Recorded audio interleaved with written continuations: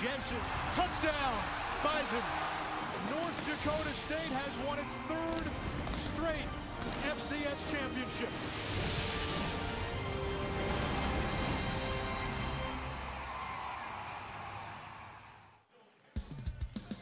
There's a reason it's not easy to get beyond the Fargo Dome. Three-time defending champ North Dakota State has won 21 straight in this building. But Joe Moglia's Coastal Carolina Chanticleers have been the ultimate road warriors this season. You know the stakes. Two teams enter. Only one moves on to the semifinals.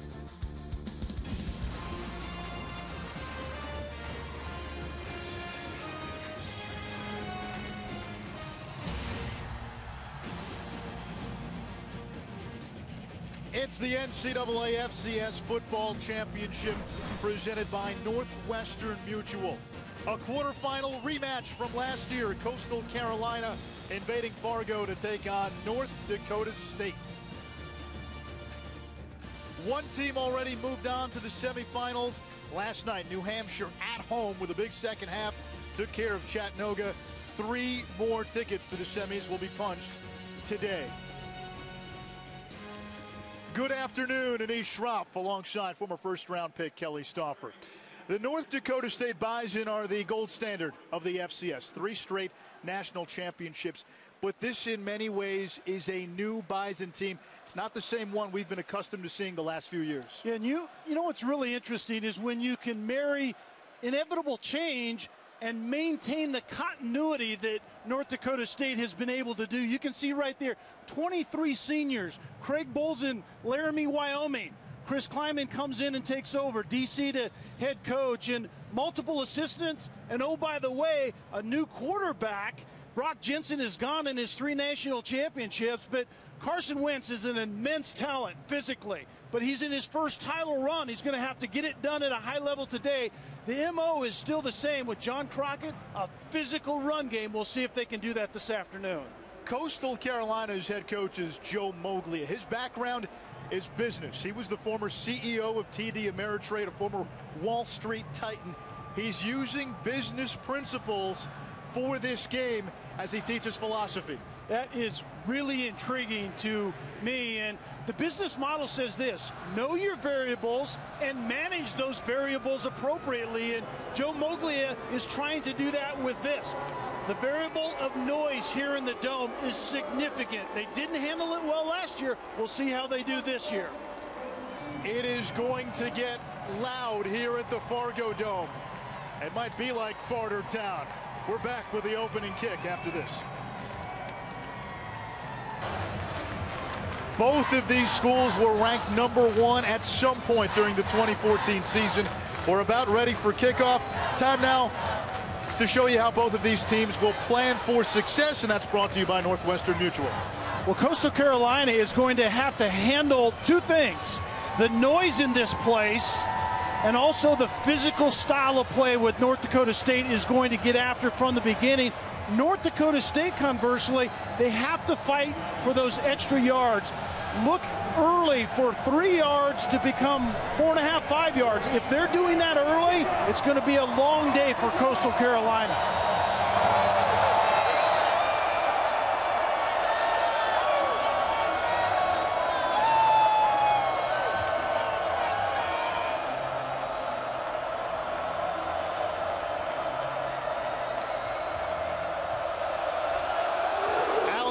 With a line drive kick.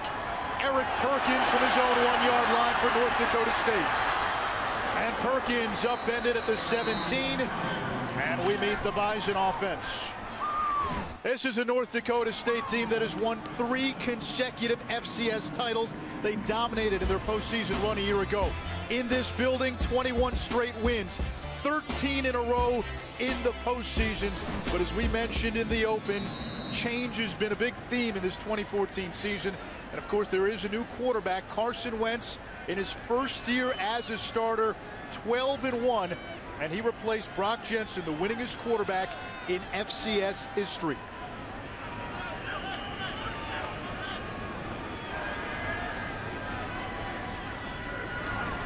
On first down. 1,500-yard rusher John Crockett to the 20-yard line for a gain of four, tackled by Leroy Cummings. Carson Wentz, Anish, is a huge talent. His skill set is enormous. He's a big guy, 6'6", 230 plus pounds. You can see right there his stats on the year. He typically takes really good care of the football. And as far as a physical skill set, actually outpaces Brock Jensen, who, by the way, has three national championships right here in this place. Here comes the blitz from Brett Johnson. Wentz has time. Now he's flushed. The ball came out. Wentz able to recover and actually picked up a couple of yards. Third down coming up for North Dakota State. Good pass protection early. What you're going to see is Brock Jensen was maybe more of a nimble-footed guy, but Wentz is fast, big physical guy in the pocket, but he also is a mobile guy. He's a very good athlete. Look for the quarterback run game to be squarely on the table here this afternoon. Five receiver look. North Dakota State playing without its top receiver, Zach Vraa, out with a hamstring injury.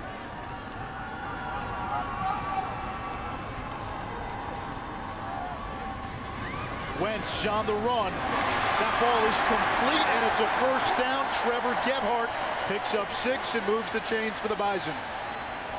North Dakota State anticipating third down pressure, which Coastal Carolina is known for. Slight movement of the pocket. You can see right there a decent throw, a nice catch by Gebhart in the conversion.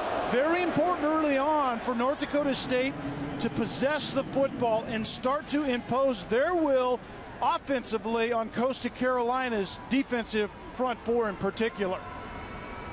Two tight end set. On the ground.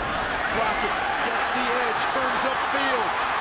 Gets a block from Gebhart. Crockett down the sideline. Cuts it back toward the middle. Touchdown, John Crockett, 70 yards.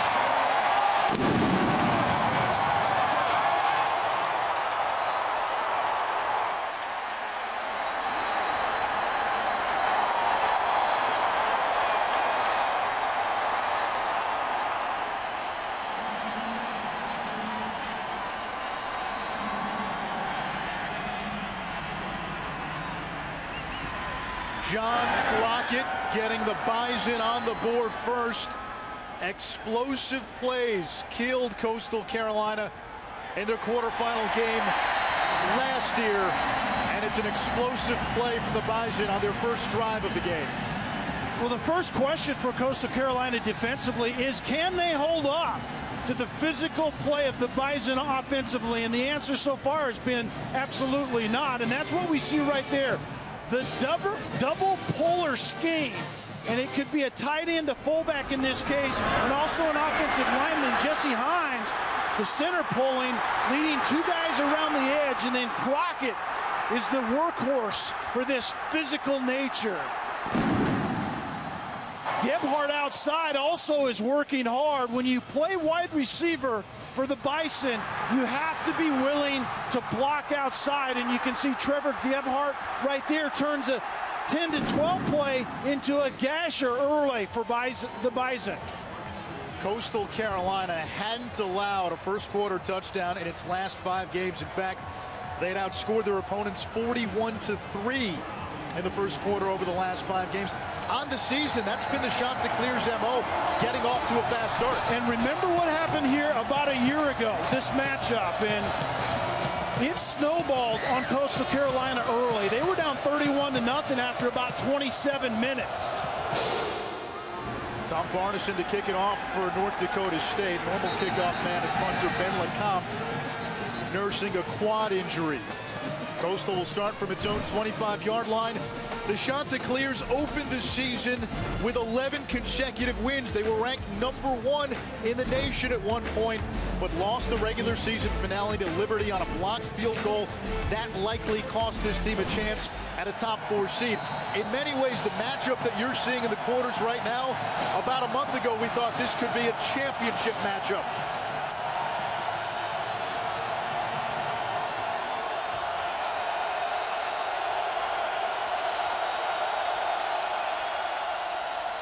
D'Angelo Henderson, leading rusher in the Big South to the 30-yard line. He picks up five, tackled by Esley Thornton. You heard the crowd when North Dakota State had the ball. It was like a library. Now it's like Thunderdome.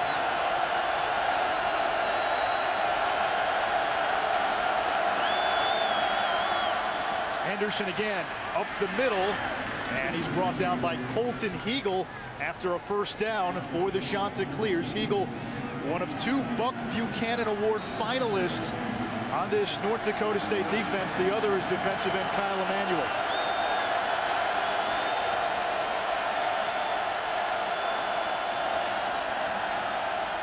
Alex Ross over the middle. That's caught by Bruce Mapp. He's the top receiver for the Chanticleers. Ross, the Big, uh, Big South Offensive Player of the Year. And it's second and two. How loud is it?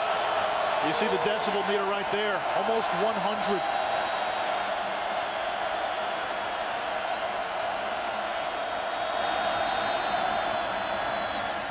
Zone read, Ross will keep it.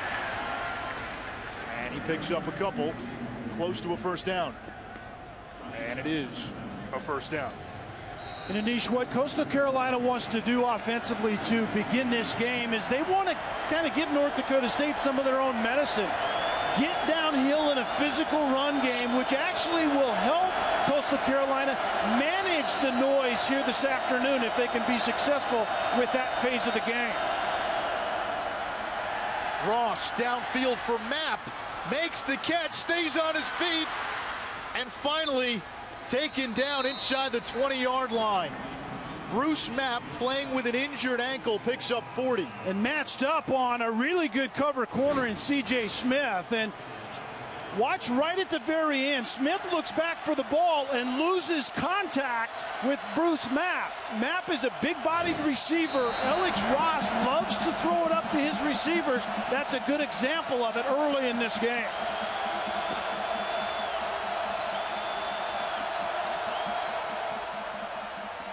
Ross will keep it.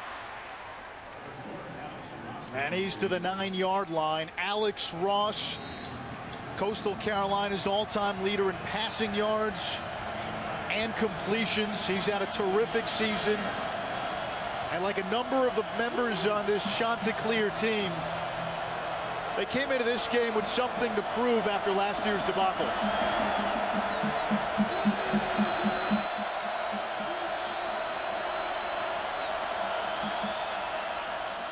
On second down to the air. Incomplete. Good coverage that time by C.J. Smith. And Alex Sweet, the wide receiver, just ran out of real estate. We get back to talking about quarterback Alex Ross. And the other thing we're going to see today is Alex Ross is a viable runner with the football as well, and it's called the plus one run game. And North Dakota State defensively were concerned about that. They didn't see a lot of it out of Ross a year ago because they got behind so early. But look for number four to carry the football.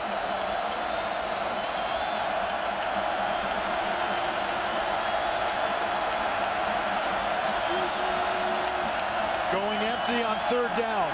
Don't be surprised if a quarterback draws on the table.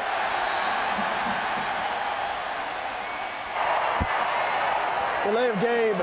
Number four of the offense. Five yards. Remains third down. That's one for the crowd. Yeah, chalk one up for the home team crowd right here. And that's exactly what Coastal Carolina did not manage well a year ago. That variable that Joe Moglia talked about is the noise you have to manage it. It's not the invisible component. It is real, but you, you can manage it. You have to get the play out, get to the line of scrimmage, not a lot of checking at the line of scrimmage, and get a successful play going.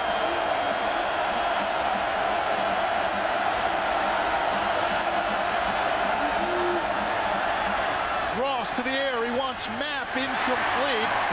Blanket covers that time by the safety Dudzik in the corner Smith. And it's fourth down, and Coastal Carolina will call on the field goal unit. This has been a problematic area down the stretch. Alex Catron was the kicker, lost his job after struggling against Youngstown State. Ryan Granger against Richmond in the second round, missed his first attempt. Catron came in, hit the next two, and Catron will have the first go today from 32 yards. The kick is good, and Coastal Carolina gets on the board. All things considered, pretty good answer by the Chanticleers. Yeah, not a bad start at all compared it to a year ago. We see North Dakota State's physical run game early. Coastal Carolina answers. They have to settle for three, but not a bad start early. Last year, North Dakota State and Coastal Carolina met right here in the quarterfinals. And in many ways, it was over before it started. The Bison raced out to a 31-0 lead. They ended up winning big 48 to 14, 623 yards of total offense for the Bison, 424 on the ground. Maybe the most impressive thing about North Dakota State, though, was its focus. That game took place the week after it was announced Craig Bohl would be going to Wyoming. And Joe Moglia, Coastal Carolina's coach, took away from less, some lessons from that game. Yeah, there are a lot of things that Coastal Carolina learned and at least has the opportunity to apply here in this environment. Easier said than done. Perkins from the one. And he's to the 24-yard line, a 23-yard return. Second try on offense for the Bison of North Dakota State. You know, Anisha, North Dakota State stands for a lot of things in this program, but we talked about the physical run game offensively, play action passing game. Wentz is the orchestrator of that now, but defensively, it's defending third down and defending the red zone. And they do that so well. Only four touchdowns in the last 11 red zone trips, and we saw that. Coastal Carolina drove the football, but they could not get in the end zone in the end. Play action. Wentz with time, throws on the run, and hits Kerry Woods along that far sideline. It's a gain of 13 yards and a North Dakota State first down. And once again, North Dakota State moving the pocket, anticipating the zone pressure from Coastal Carolina, and you see Woods just running the defensive back off and then snapping it off as Wentz was rolling his direction. And Woods is one of those guys that has to step up. Zach Vraa the senior wide receiver and the biggest vertical threat is not playing today. We need to see more out of 83. Out of the eye. This is Crockett looking for the edge. Vicious stiff arm. And he's out of bounds after a gain of about five our impact matchup when North Dakota State has the ball. You've got Crockett, who we already saw bust a 70-yard run. Urzendowski, a true freshman, last week's hero. He's going to be counted on for more with Vraa out. And Quinn Backus is a tackling machine.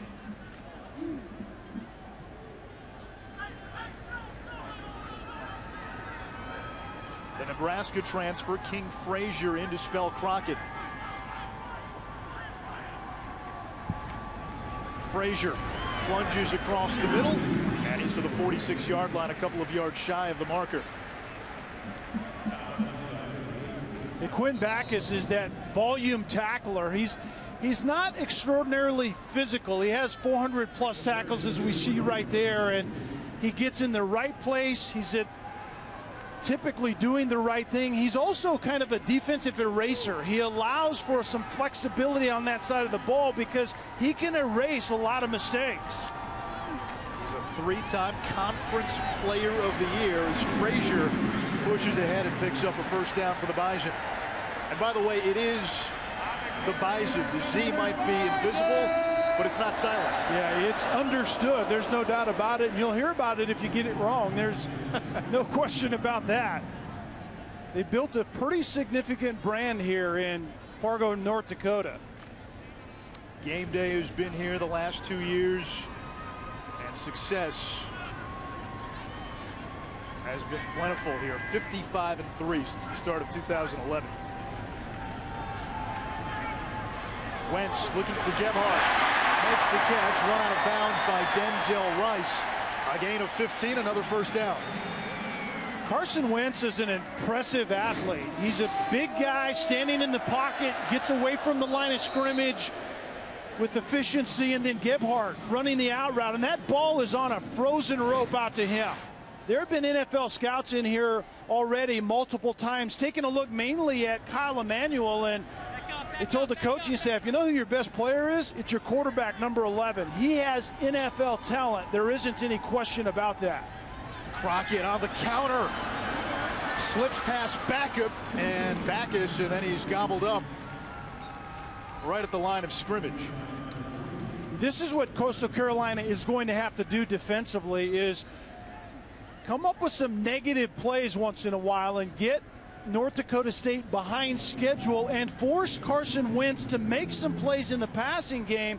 I don't think North Dakota State is as talented and as deep on the perimeter in the pass game as they have been in the past. So that's an area that is a question mark coming here today. Coastal showing blitz. Here comes Brent Johnson from up the middle. Screen pass, and it's knocked down. Jabari Bothwell got his hand on it, and it's third and long. And if you're Coastal Carolina, these are the situations you want to get the Bison in. Yeah, huge missed opportunity. North Dakota State is anticipating the pressure. A screen outside to the running back against the middle pressure is a perfect call. Just was not executed well at 6-6. Wentz has to get that ball over the defender right there. Chase Morlock in the backfield on third and long. Here's the blitz. Wentz over the middle. That's caught in traffic. Kerry Woods again. He's to the 20-yard line, and it's a first down. Woods is a guy who had to step up with Vraa out. Yeah, the timing throw on the skinny post. You can see Woods just sets the defender outside. The ball is delivered big and on time. Once again, we see that strong arm by Wentz and a really good route by Kerry Woods. He is that guy that has to step up Anish with Vraa out of the game here today. Two catches, 30 yards for the sophomore out of Bemidji.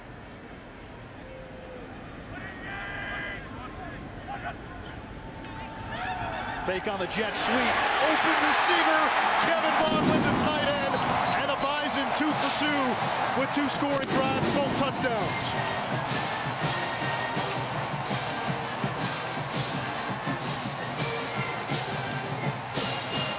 What an impressive start for North Dakota State offensively. When you can run the football with the physical attitude, play action pass is lethal, and we see it right there. The big body tight end benefiting from that run game. Play action pass, invite the linebackers up and hit the big tight end behind him. Two drives, two touchdowns for North Dakota State. Wentz to the sixth year senior, Kevin Vaadeland.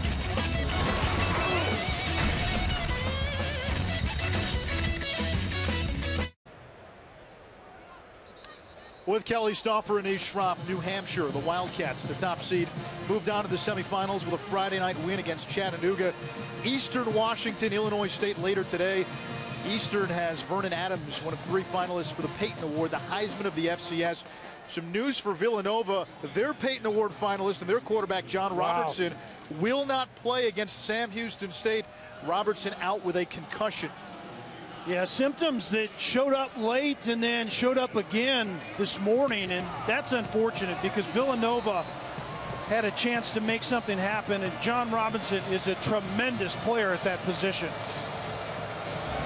Tom Barneson to kick it off. The dangerous Devin Brown back deep for Coastal Carolina. Brown's going to have a chance. Zigzags across the 20-yard line to the 23, a 21-yard return. Let's go back to North Dakota State's last touchdown. Well, North Dakota State is already running the ball in a physical way, but this is what you do next. It's the play-action passing game. The tight end is just going to get down the middle as you play action in the backfield, invite the second level defenders up, and then throw to the big tight end behind him. If North Dakota State established this, the run first, tight ends are going to be lethal down the middle of the field. D'Angelo Henderson. First team all conference running back in the Big South with a nice pickup on first down. Henderson over 2,000 yards rushing for his career. He had big shoes to fill coming into the season. Last year, the Chanticleers had Lorenzo Taliaferro who's now with the Baltimore Ravens.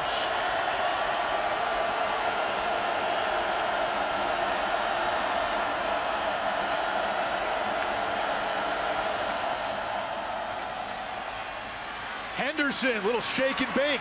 He gets a block. Still on his feet. And Henderson across midfield into Bison territory for a gain of 25. Chad Hamilton is kind of the epicenter of what Coastal Carolina wants to do in the pass game and run game. You can see him shoving Kyle Emanuel down inside, and that's one of the matchups that we want to keep an eye on. Kyle Emanuel is probably an NFL type edge rusher, and Chad Hamilton is certainly an NFL guy. He'll get a look. If he was three or four inches taller, we'd be hearing a lot more about 73, but tremendous feet on that big body. That's the game within the game. Emanuel, 16 and a half sacks this season. Ross downfield, he wants Mapp, and a flag on the play. C.J. Smith held him. I think that's exactly what the call is going to be. C.J. Smith in press coverage, and Mapp is just releasing to the fade, and Smith, I think, is going to get called for the hold. Interference. Number six of the defense. It's a spot foul. Automatic first down. That is, Anish, it's a hold early, and then when the ball's in the air, it morphs into pass interference. And I'm not so sure about that. It might have been a hold early, but I didn't see a whole lot of that going on when the ball was in the air. I think pretty decent coverage by C.J. Smith.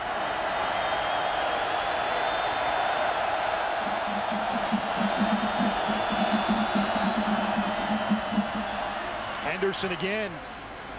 You can see the patience with Henderson. And he picks up 11 for a shot to clear first down. And the patience, as you mentioned, Anish, but it's also the ability to be quick in the box. And even though he's only 5'8 and about 200 pounds, there's a lot of yards after contact in that small body, and we saw it on that previous play. 51 yards on the ground already for Henderson.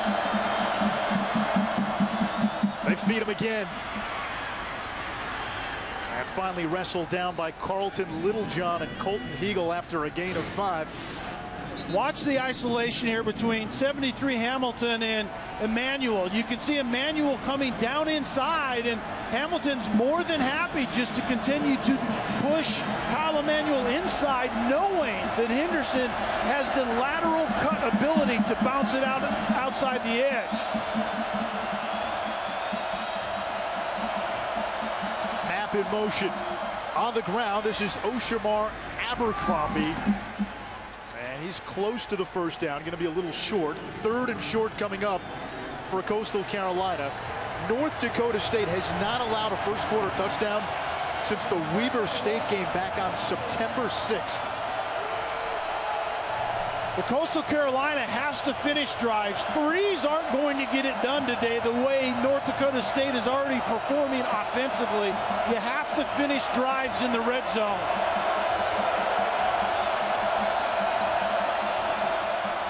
Abercrombie on third and short, pushing forward.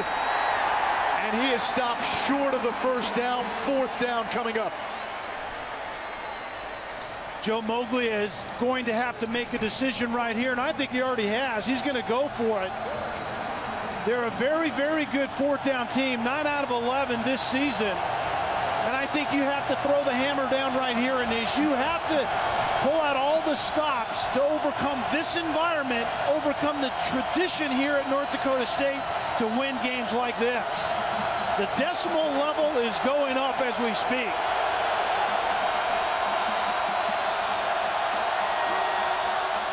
Henderson on fourth and one and gets ahead with the surge as Coastal Carolina moves the chains.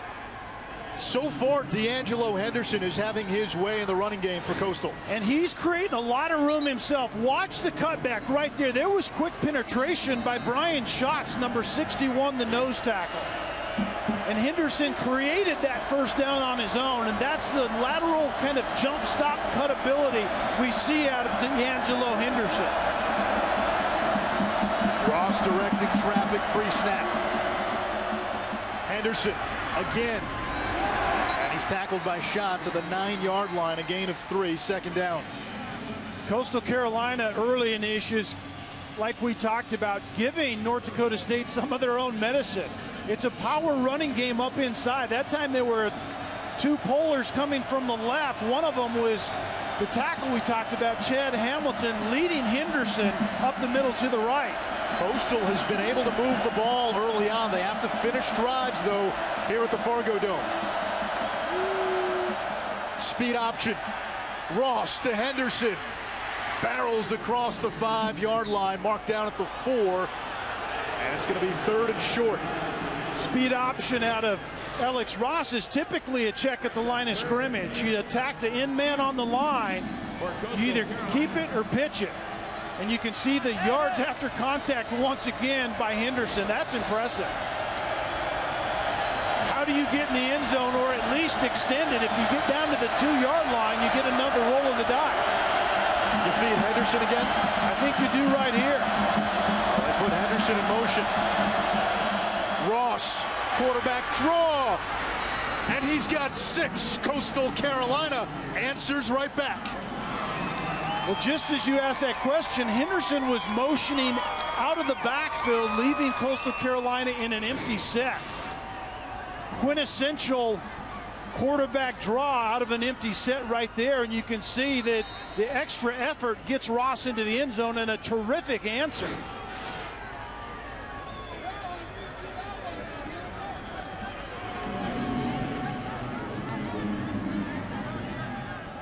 Austin Kane to hold. He ran in a two-point conversion last week against Richmond. Katrin's point after is good. So North Dakota State scores on its first two drives. Coastal with an answer each time. A field goal the first time, and then Alex Ross diving in for the quarterback sneak touchdown.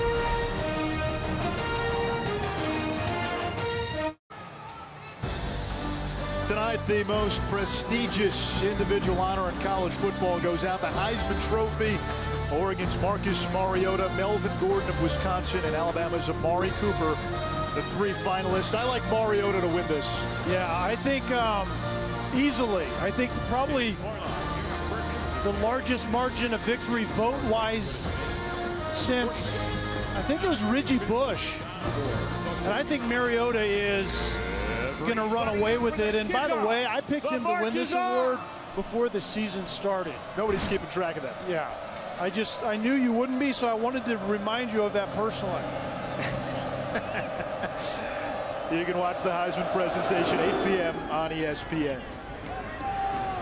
Eric Perkins from inside his own five-yard line.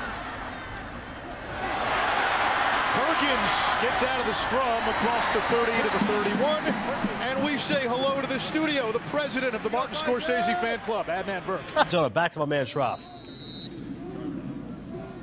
I expect some Coen brothers references from Adnan, who is the resident movie buff in Bristol.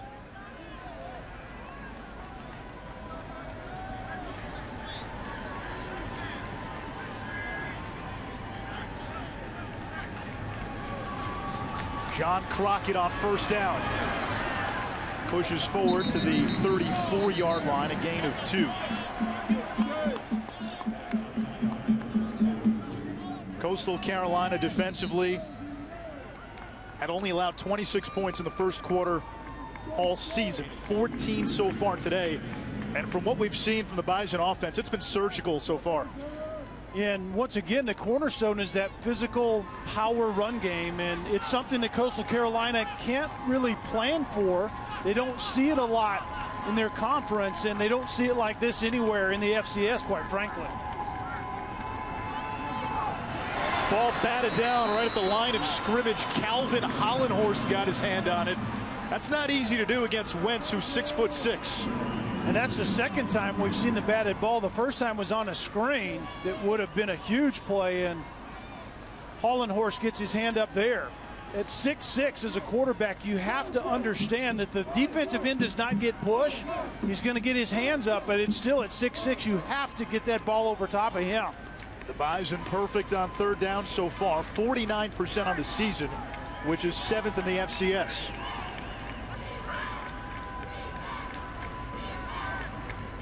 Four-man rush. That's caught by Woods, but he's going to be wrapped up immediately. C.J. Thompson and Cameron Summers right there. And North Dakota State will have to punt for the first time today. Really good developments for Coastal Carolina early in this game. Remember how it went a year ago. They got just avalanched early, but to answer offensively and then come with a three and out here on this drive defensively is tremendous for them. Ben LeCompte shanks this one into about the seventh row. And he's been nursing a bit of a quad injury. That's something to keep an eye out for. LeCompte, when healthy, one of the best punters in the FCS. Yeah, that's that's part of the MO of this program is field position, play good defense, physical run game, field position. LeCompte is right at the center of that, but that was a horrific effort. That was an 11-yard punt. And it literally went about halfway up the stands to our side. That was bad. The only positive out of that was somebody got a souvenir. Don't you have to return those, throw them back in? Good luck. Security comes and retrieves those, I think. Outstanding starting field position. Here's Henderson. Using the stiff arm, gets out of bounds, inside Bison territory. A gain of four, and that brings us to the end of a very exciting opening quarter in Fargo. The three-time defending champs up by four.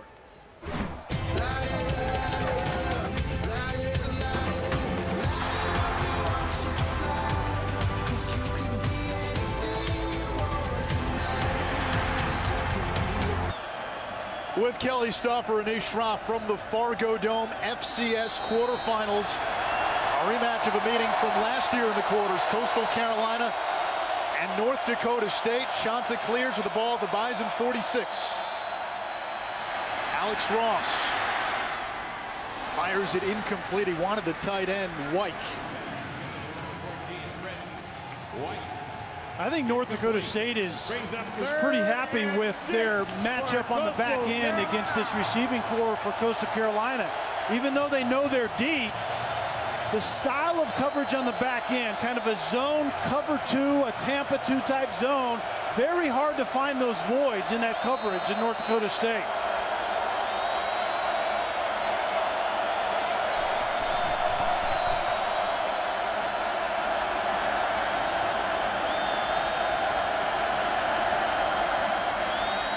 Bison rush four. Ross slings it over the middle. It's tipped and it's incomplete. They tried to thread it in, in there to his top receiver, Bruce Mapp. Carlton Littlejohn got his hand on at the linebacker. And you can see Littlejohn right there, number 38, in the middle of the field, and that's a characteristic of that Tampa 2 coverage I was just talking about. Two high safeties, and then that nickel linebacker in the middle runs deep middle and takes away the throw just like that. Well executed by Carlton Littlejohn on that play. Littlejohn, a first team all conference linebacker in a stacked Missouri Valley League. Christian Dudzik, fair catch of the 15 after a 31 yard punt. If you're just joining us, North Dakota State getting on the board on its opening drive. John Crockett, 70 yards to the house for a touchdown. Coastal Carolina would answer back with a field goal. The Bison, next time around, Carson Wentz to his tight end, Kevin Vaadeland, and then an Alex Ross four-yard run. Made it 14 to 10. Both teams have traded punts since. And the Bison will now start just inside their own 16-yard line. Crockett, the deep back, and the three receiver look. Crockett on first down. Fighting for extra yards. And he is to the 18, a gain of two. North Dakota State talked to us about the fact that, you know, they, an early sign for them is when those three yard runs become four and a half and five yard runs because of the effort up front and the effort in particular by John Crockett carrying the football the majority of the time. And right now, we're not seeing a lot of those. That was a basically a two-yard run that was stuffed at the line of scrimmage and then barely eked out that. So good sign up front for Coastal Carolina early. Play action. Wentz in trouble, trying to get away, and he gets rid of the football Incomplete second and 10. Carson Wentz avoiding the sack. And a big, big quarterback stands in the pocket and he actually comes up hobbling a little bit. Great job of getting the throw off in the vicinity of an eligible receiver and not taking the stack. But once again, third and eight is much to the liking of Coastal Carolina defensively.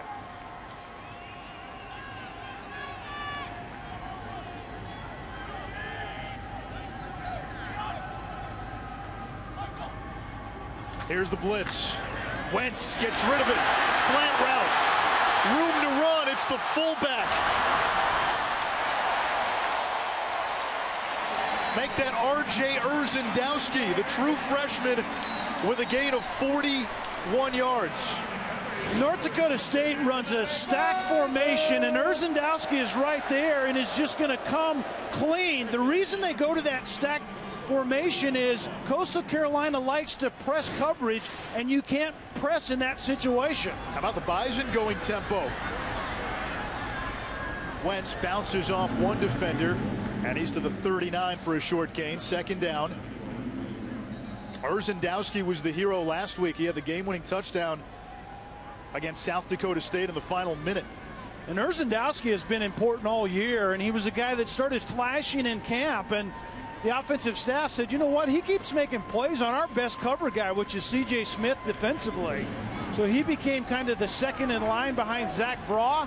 Now he's front and center with Vraw out of the game here today.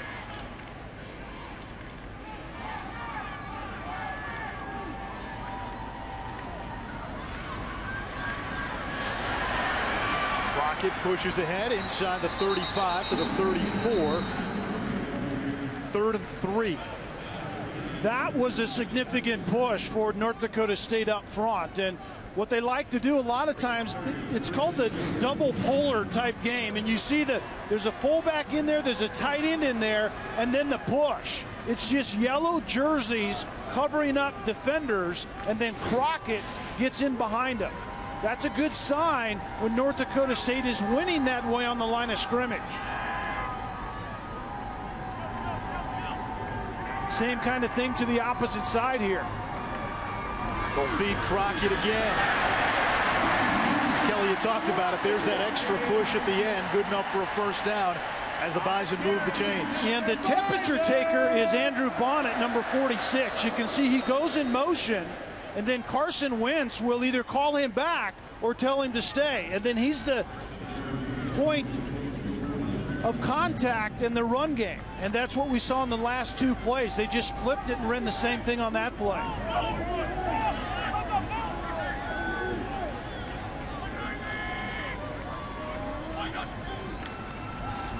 Back to Crockett. And again, fighting and churning for extra yards. He's to the 25-yard line, a gain of four. The 2014 NCAA FCS Championship continues next weekend with semifinal round games on December 19th and 20th. You can watch on the Watch ESPN app at ESPN3.com. For more info, go to NCAA.com, the official online home for all 89 NCAA championships. King Frazier now the deep back in the I.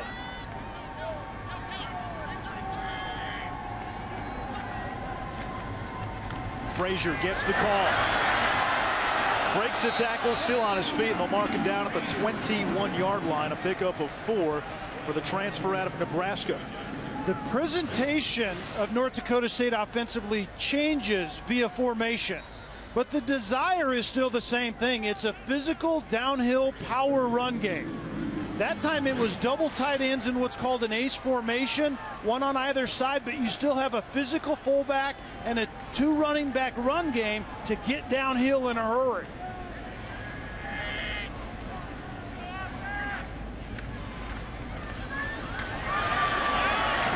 That's Crockett, and that's good enough for a first down. North Dakota State now six of seven on third downs. Last week, Coastal Carolina held Richmond to just two of 13 on third downs, and the Spiders came into that game number one in the nation in third down conversion percentage. Crockett is already over 100 at 10 yards a pop. But Richmond didn't run the football like North Dakota State does. They were more of a passing team that worked well matchup-wise for Coastal Carolina defensively. They could get after the quarterback. It's hard to get after the quarterback in this game. That's the fullback, Andrew Bonnet. First team all-conference fullback picks up six. Is Bonnet a fullback or is Bonnet a tight end? And that's actually the question that Coastal Carolina has to answer a lot of times because he's in there as a move tight end on a couple of plays already on this drive. And that time he's a prototypical fullback that carries the football. Tremendous athlete at 6'3", 250. But how does the defense define number 46? He's also pretty good as a ball catcher out of the backfield.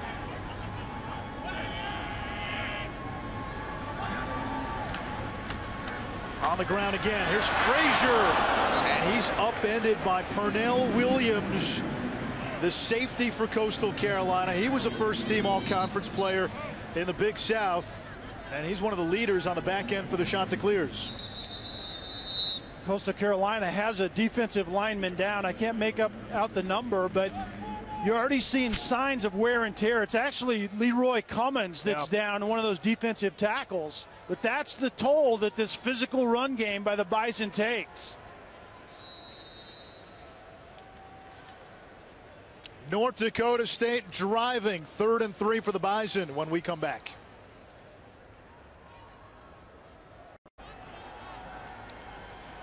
North Dakota State has already converted three third downs on this drive. This is the fourth. Third and three, 12th play of the drive coming up.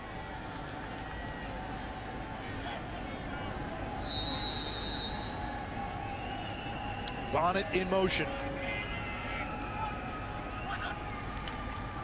John Crockett already over the 100-yard mark, and he's stopped at the 10-yard line. So fourth down now for the Bison. And let's see if Coach Klieman decides to go for it. He will not. That last play certainly was significant for Coastal Carolina, and it was a power play once again, but defended quite well by Coastal Carolina. And conversely, Coastal Carolina, they obviously have to defend that third down position better, and they did on that play. Adam Keller, who has four toes on his kicking foot, from 27 yards, and it is good. He's now made nine straight field goals. It's his 26th field goal of the season, one shy of tying the NCAA's FCS record. It is success. North Dakota State wins the Division One football championship. And succession. Chris Klieman, first season at the helm. Change and continuity. Touchdown! What a play! It's carrying the torch and passing it and carrying it again. And the tradition of the Bison lives on. It is the definition of a dynasty. They're building toward a dynasty here. Three championships with one core, but if North Dakota State can win it this year, essentially after hitting the reset button in many ways, following 2013, it would be as impressive a title that the Bison have had in their run. Yeah, I, I would agree with that. I think the turnover that they've experienced in so many ways, you know, we talked about it, 24 seniors, a new head coach. Most of his staff had to be yeah. replaced. Craig Bohl took most of his assistants with him to Wyoming.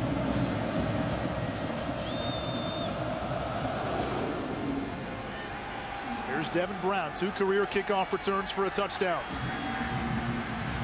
Brown, burst of speed. He's across midfield. Nobody in front of him. There goes Devin Brown.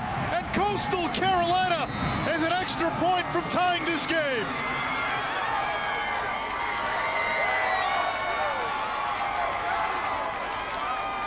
A 98-yard return for Brown, who took one back from 99 yards against North Carolina A&T earlier this year. Well, if you're going to come into this environment and beat the three-time defending champions, you have to answer.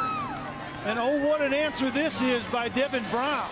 Takes it the distance and as so many times is the case in these, we talk about offense and defense, and the third phase special teams, a lot of times in games like this, is the deciding factor. Coastal now shifts back to their kick formation. Austin Kane, number 35, the holder, did run in a two-point conversion last week. Point after by Katrin is good, and we are all tied at 17. Joe Moglia, the head coach for Coastal Carolina in his third season. One of the great stories really in college football. He was an assistant at Dartmouth in the early 80s, decided to give up football, went into finance, worked at Merrill Lynch, climbed the ladder there, made a fortune on Wall Street, ended up being the CEO of TD Ameritrade. He's still the chairman of that company. Then he wanted to pursue his passion, got out of the finance game in 2008. Great timing, by the way. Took essentially an apprenticeship with Bo Pelini at Nebraska. A few years later was able to transition into a head coaching job at Coastal Carolina. There was some controversy when he was first hired. People wondered if he was qualified. You don't really hear those whispers anymore. And wondered if he had bought his way into the position, quite frankly. But I think the uh, result speaks for itself thus far. And Joe Moglia has so many things to teach those young kids in his program. And what a great opportunity for them to learn from a man like that. There was a Wall Street Journal article recently which postulated that maybe the Jets should kick the tires on Moglia as a possible head coaching candidate should they part ways with Rex Ryan. There's Eric Perkins, and he's pushed out of bounds. Oh, he's back in bounds near the 25-yard line. Let's go back to the studio and say hello to Adnan. All right, a nation update the D3 semifinals over on ESPN3. Wesley and Mount Union. Mount Union, this is Kevin Burke to Sherman Wilkinson trying to make it a 10 straight finals, although Wesley averages 50 points a game. Right now it's 35 to nothing for Mount Union. Still waiting for that wood chipper there in Fargo, Nation. I actually visited that last year when we were here. Here is the FCS bracket as it looks now. New Hampshire on its way to the semis. They beat Chattanooga last night. Illinois State, Eastern Washington, Sam Houston State, Villanova. Those games today. John Crockett still churning. 23. He picks up a dozen yards to the 38-yard line. Crockett 113 yards already for North Dakota State. Look at the formation here. Two tight ends to this side, and Coastal Carolina does not adjust to the formation. And so Wentz just runs to that side. You pull an offensive guard over there as well. And then Crockett just gets up into that softness. Great job of formationing for North Dakota State offensively right there. Crockett needed 197 yards today to become the single season leading rusher in school history. He might get there today. Wentz chased. Now he's got to get rid of it. It's got a receiver who's open. It's Bonnet for a pickup of nine yards. This is where I think Carson Wentz demonstrates that he's a far different quarterback than Brock Jensen was. Brock Jensen won three national championships, but he didn't have this physical skill set. That's a big man running around there, buying time, extending the play, and then find Bonnet over the middle. Well, they gave Bonnet a bit of a generous spot, so it's enough to move the chains. First and 10. I told you, Bonnet's a receiving threat. On the ground once again. This is Frazier. And he's to the 39, a gain of 13. We're watching vintage Bison football here. Smash mouth, dominate the line of scrimmage. And what they're doing, Anish, is North Dakota State will go to the line of scrimmage with the formation. And then you see what Wentz does at the line of scrimmage. If he likes the numbers, then he just holds that formation and runs the play. Now, if there was an adjustment defensively by Coastal Carolina, Wentz would conversely adjust as well. But right now, physical run game downhill for North Dakota State. Play action. Wentz all day. He wants six. He wants Woods. It's incomplete. On the coverage, Cameron Summers, the sophomore from Statesville, North Carolina, who had an interception last week against Richmond. And Woods running the post route late. And the fans here felt that Summers grabbed Woods late on that post, and I didn't see it. There might have been a little contact earlier than what we just saw on the screen, but all in all, I don't think anything that deserved a yellow hanky. That's where the Bison miss Zach Vraa. Really, no true vertical threat on this team right now. Crockett on the stretch play, turns the corner. Ball comes out as Crockett was upended at the 21-yard line. It's a gain of 18. And Pernell Williams, watch number six coming from the secondary right there. He just takes a poor angle, and he's the safety that has to run the alley. Right out on the edge, and Crockett was definitely down before that ball came out. But not a very good run fit by Pernell Williams, an experienced safety on the back end. When Crockett gets to the edge, a safety needs to be there to close the door. 13 carries, 132 yards for Crockett. Low snap. Wentz recovers. Fires one over the middle. Touchdown Bison. The tight end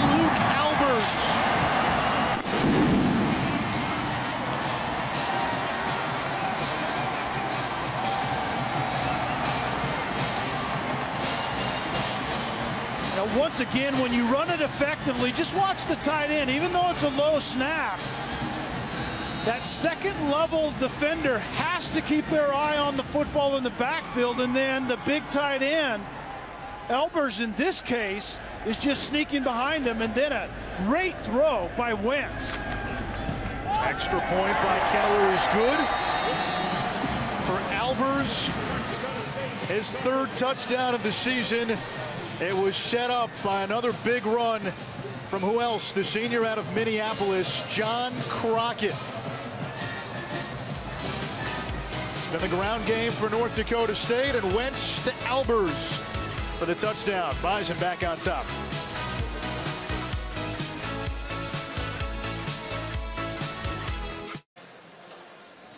Carson Wentz to Luke Albers, third touchdown of the season for the junior who is a fisheries and wildlife management major.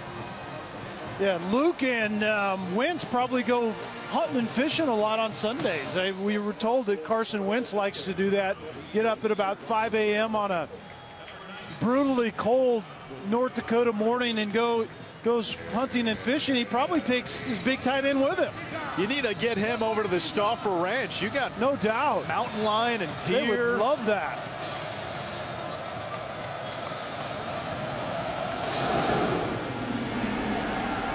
Devin Brown took the last one back. He won't get a chance here. That's Chris Jones, who stumbles to the 19-yard line. What if I told you a hurricane was coming? In 2001, the University of Miami unleashed a ferocious storm of talent and swagger on college football. What if I told you you can't stop a hurricane, but you know it has to end? ESPN Films presents a 30 for 30 film brought to you by Infinity. The U, Part 2, tonight at 9 Eastern on ESPN. That'll be after the Heisman Trophy presentation. Well, a game that is a game about answering, Coastal Carolina is going to have to show up right here on this drive.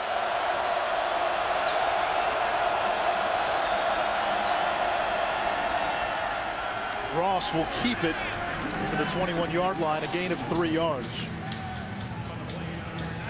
Well, North Dakota State in the postseason last year gave up 42 points in four games. Through five quarters so far this season, 41 points. They still might be the best team of all the teams that are left, but they're not as dominant yeah. as they were a year ago. That's the word. They're not as dominating, but rest assured, this is still the team that you have to go through to win the national championship at this level. This is Henderson. Breaks one tackle and finally brought down after just a gain of a yard. C.J. Smith, the corner out there, is coming out of that Tampa 2 coverage. And the reason that North Dakota State runs this is they can get their corners up in the run fit. Guys get familiar with where they are on the field, and you saw number six, C.J. Smith, close and make a really good tackle on that play. Coastal fifth in the FCS and third down conversion percentage, but just one for four so far. Ross's pass, that's caught. It's Tyrell Blanks. And it's a big gain for the Chanticleers, 21 yards and a first down for Coastal. Yeah, Blanks was in the slot matched up on Christian Dudzik, the, the safety, and you can see right there, just crosses the face of the safety, runs the shallow over route, and the quarterback, Ross, finds it. Coastal Carolina has had an answer each time for North Dakota State. Henderson up the middle. And he picks up four to the 47-yard line. We told you earlier last year the Chanticleers had a phenomenal running back in Lorenzo Taliaferro, who's now with the Baltimore Ravens. Coaching staff told us Henderson might have more top-end speed. He's got a little more shake to him. He might be an NFL prospect as well.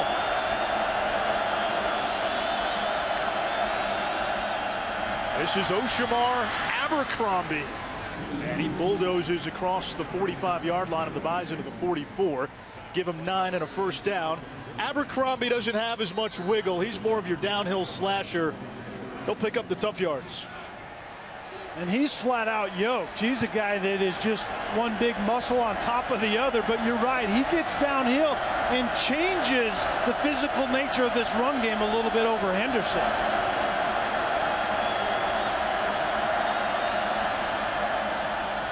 edge pressure. Ross taking a shot downfield. Knapp has it along that far sideline. Marked out at the 15-yard line. A gain of 29 yards. We've seen this a few times. Matt matched up on C.J. Smith, and Matt just simply plays the ball better in the air than Smith does. Smith was in perfect position right there in that coverage, but he didn't play the ball well at the top as Matt did. Look out for Alex Sweet here, top of your screen, 6'4". He's a red zone target. Henderson inside the 10-yard line, tackled at the 7, give him 8. And D'Angelo Henderson now with 86 yards on 13 carries. And that's the biggest story for me early in this game is Coastal Carolina offensively being able to run the football in a physical way downhill and managing the noise offensively here in this environment has been really good as well.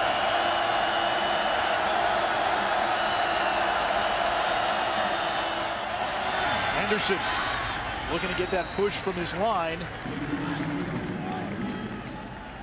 and a little different close. minutia at the line of scrimmage in handling that noise this year with Coastal Carolina. Last year, what they were doing is they would get a, a late kick by the quarterback and then a hand clap, and then the guard would trigger when the center snapped it. Now it's just a double hand clap by the quarterback with the offensive line getting their cue from that. Big third down. Could be another draw. It is Ross. And he stopped short of the first down marker. So fourth down coming up. Coastal Carolina went to the quarterback draw and actually scored on it earlier in this half. And that time, they just didn't win on the line of scrimmage. Joe Moglia elects to go for the field goal. Brings his field goal unit on. And now it looks like it's going to be a fake.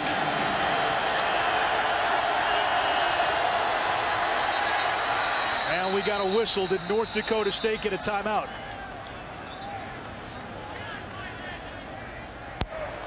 Timeout on the field, North Dakota State. Their first charge, 30-second timeout. Fourth and one, Coastal Carolina, late in the first half. Fourth and one, Coastal Carolina, 35 seconds to go in the first half. The Chanticleers have the ball at the six-yard line of North Dakota State. Andre Johnson, the short yardage back in the game. Now Ross motions out. Wildcat look. Direct snap to Johnson. He'll try to push forward. And he's got enough for a first down. North Dakota State defended that really well early, but it was the second effort by Andre Johnson. Initially, there was no push whatsoever, but Johnson ekes it out in the end. That was a good job of the second effort converting. Clock still running, 26 seconds. Now a whistle. Chanticleers have all three timeouts. Clock running. Henderson looking for a seam. Stood up at the three-yard line, and now a timeout with 13 seconds to go in the half. Let's check in with Adnan Virk. All right, Denise, thank you. Coming up at the half, Trevor Matich will break down the Heisman Trophy presentation tonight, why Marcus Mariota is the odds-on favorite, plus Lee Corso's pick to win between Army and Navy, and Kentucky hosting North Carolina. Some great college hoops coming up later today on ESPN. All that more coming up. For now, let's send it back to you, Anish. All right, Adnan, 13 seconds to go here in the first half. Coastal Carolina knocking on the door. I thought that was interesting clock management right there. Three timeouts left, and they let probably almost 10 seconds run off the clock, and those could be valuable here down the stretch. I'm not so sure why you would conserve a timeout when you have three of them. That's a decision you make. Maybe if you have two, certainly if you only have one, but when you have three, I would have called a timeout after that conversion on third down, or excuse me, fourth down. Maybe the thinking is you've got the ball now, what, at the two-yard line? With the two timeouts, that means you've got time for two running plays.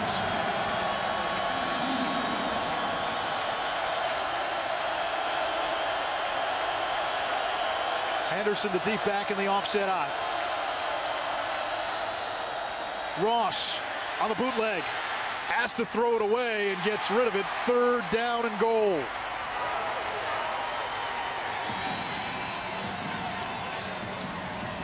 Coastal Carolina simply trying to get Ross outside the pocket, roll to three receivers that were flooding the corner of the end zone, but very well covered by North Dakota State defensively. This will be the 13th play of the drive. The Chanticleers started back at their own 18-yard line. I think they would feel better right here if they had about more 10 more seconds on the clock. Give us to Johnson. There is a flag on the play.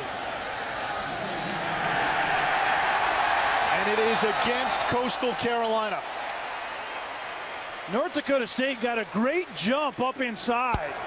False start. Number 75 offense. Five yards. Please reset Mo the game Ashley, clock the to nine guard seconds. is going to Nine jump just a little bit clock. early. You can see right there the twitch from the left guard. North Dakota State got a great jump up inside. They got off the ball quickly, and Mo Ashley was sensing that a little bit and left a little bit early. What are you telling the quarterback here? Nine seconds left. You've got two timeouts. You don't want to play where if it ends and you've got no time left, you can't at least get a field goal. Yeah, you make a good decision. Throw the ball out of bounds. I think they have to throw it here, certainly. Ross throwing for the end zone, incomplete, intended for John Israel. There to break it up, the safety Christian Dudzik. And it's fourth and goal. The Coastal Carolina is going to elect to get points on the board, and I certainly think that's the right decision. Not a bad play by Alex Ross there. The best passing game right now for Coastal Carolina is throwing it upstairs and letting his wide receivers go get it, and Israel almost had an opportunity to do it on that previous play. 25 yarder for Catron, who's already connected from 32. Timeout on the field, North Dakota State. Second charge, 30-second timeout. I think North Dakota State just wants to make sure that they're buttoned up, probably go safe here defensively, and just make sure there aren't any shenanigans going on by Joe Moglia, his team. You get the feeling this game is going to come down to whoever has the ball last. John Crockett got the Bison on the board early on. A 70-yard touchdown run on North Dakota State's first drive. Then it was the tight end, Kevin Vaadeland. That made it 14 to 3, 14 to 10 after an Alex Ross touchdown.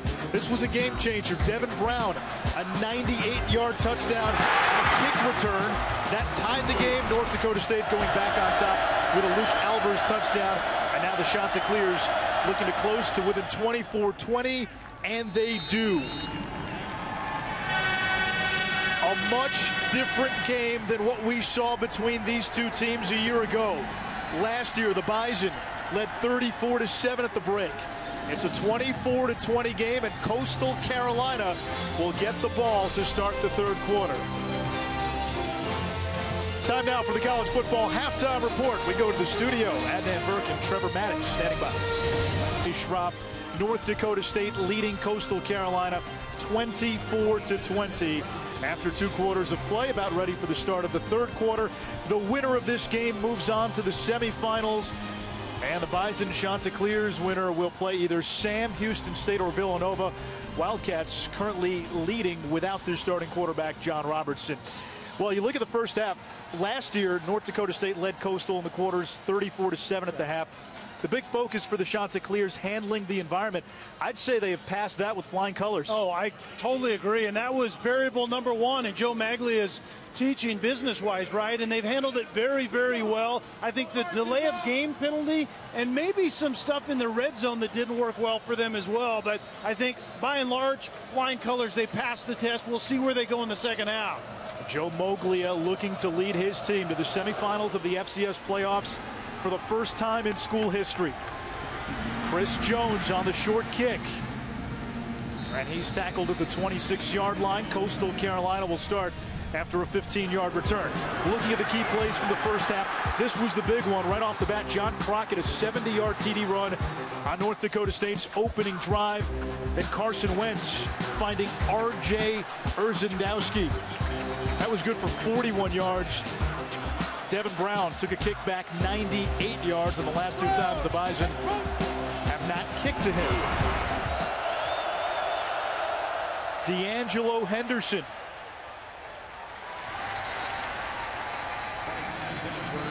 Rather Devin Brown on the jet sweep. Time of possession, Coastal Carolina has kept it close. North Dakota State prides itself on TOP. Yeah, it's old school offensively, and they've won the time of possession in every game they played this year. That's at least reasonable if you're Coastal Carolina. Coastal 7-0 on the road this season. The Bison have won 21 straight at the Fargo Dome. Ross throwing it for Brown. Did he hold on to it? He did. It is a catch near midfield, a gain of 19 yards. I'm amazed that Brown was able to get a foot down. You can see the safety Dudzik coming over the top. That left foot gets down as the heel inbounds as well. I think so. I think that's a pretty good catch. Actually, that's a great catch and a great throw. Corner underneath the coverage and a safety over the top. And Alex Ross drops a diamond. the previous there. play of a reception is under review. The left foot got down. We couldn't quite see whether the heel was actually on the ground. Uh, it looks to be in. And remember, it's got to be indisputable video evidence to overturn the call. Yeah, I'm not if it's sure. fuzzy at all, and I'm not talking about the video, but if it's not clear to the officials in any way, shape, or form, the call on the field stands. It's going to be interesting. We see Devin Brown right there is actually hobbled on the sideline, took a shot yep. from Christian Dudzik at the end of that catch, and he's pointing to his lower back. He might have got raked clear over into the bench area. Both teams a little banged up. Left foot down. Wide receiver. Question is, does he have control of the ball? That's going to be hard to overturn. Yeah, I think you're right. I don't see the video evidence that it's going to take to overturn that. Remember it, the replay booth sees everything that we just saw. They get the best angles that we have on television, and I just don't know that there's anything there that's going to allow them to overturn that.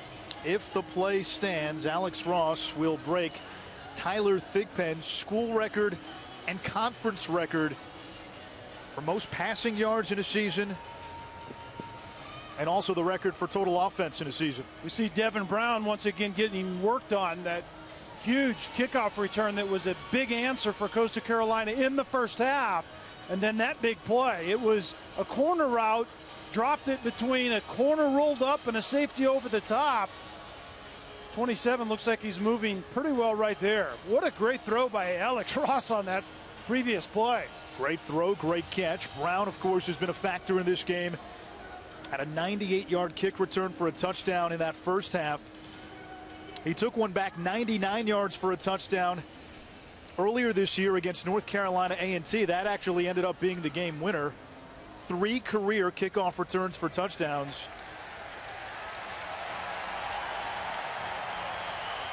And how this second half start starts is very important. North Dakota State typically makes great adjustments, have outscored their opponents 126 to 23 this season in the third quarter. After review, the receiver's heel was out of bounds, therefore an incomplete pass. I got to disagree with that. I'm not sure if that was that indisputable that his heel was out of bounds. Well, to me, if you have to debate it, and you can you tell asking the question i just don't know that you can tell right there obviously we're talking about that I have my glasses on, Nation. I wouldn't have called that indisputable, if but it is oh well. in any way, shape, or form unclear, the call in the field has to stand. That's a bad break for Coastal. And in the meantime, you're third and seven against a defense for North Dakota State that's going to get revved up right here. Four-man rush. Ross's pass, incomplete, intended for blanks. There was some contact there as well. Jordan Champion on the coverage. Jordan Champion was actually on the coverage in the slot. And the route by Terrell Blanks, and he Blanks just came out of his cut wrong and was stumbling, and that ball went to the ground. Huge missed opportunity, and unfortunate turn of events if you're Coastal Carolina offensively.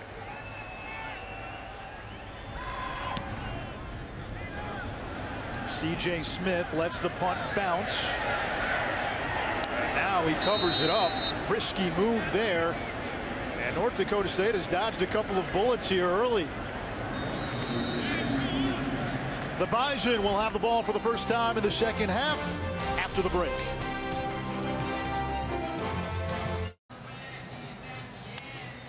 24-20 North Dakota State leading Coastal Carolina quarterfinals of the FCS playoffs. Key play on that last drive for Coastal.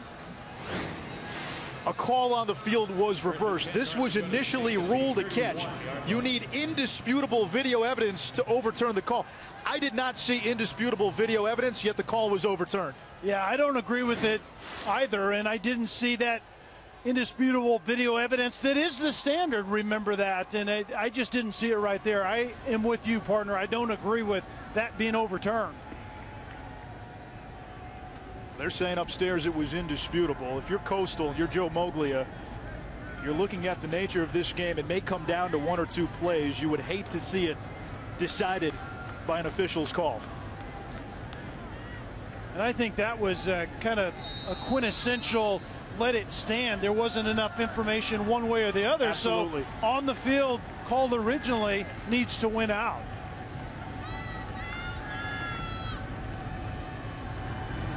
Play action. Wentz rolling to his right. On the run. And he completes it on that far sideline. It's Kerry Woods. And for Woods, his fourth catch, he stepped up with Zach Vraa, North Dakota State's top receiver, out with a hamstring injury. We saw North Dakota State do this in the first half as well. The play action off their run game, and then Wentz boots it outside, and Woods just runs like he's on a go route and then breaks it off right back down the sideline. Well executed by North Dakota State. The Bison racked up more than 300 yards of total offense in that first half. This man was a big part of it. John Crockett sheds a tackler, has some space. Crockett down the sideline and finally tackled from behind by the safety Pernell Williams. Well, once again, we see Andrew Bonnet, the tight end slash fullback, right at the center of everything. He came over, he set the edge, you pull a couple of offensive linemen, and then Crockett just gets up in behind him. Very well executed, and what North Dakota State is so good at is sorting things out on the move up front.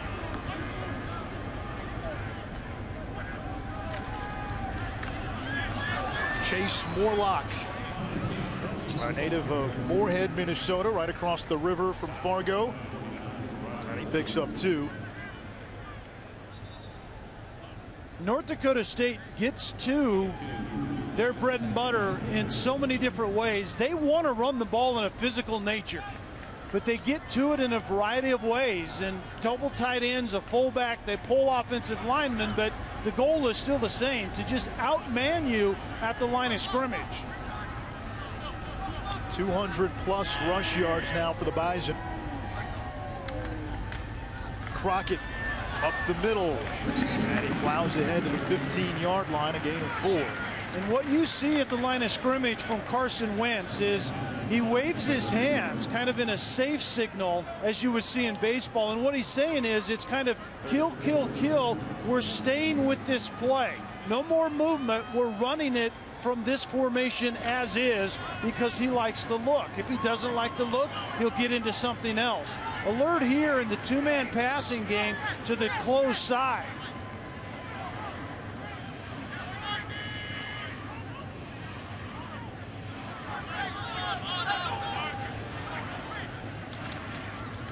Crockett once again. He's to the 10 yard line. And he's going to be short of a Bison first down. It's going to be fourth and inches.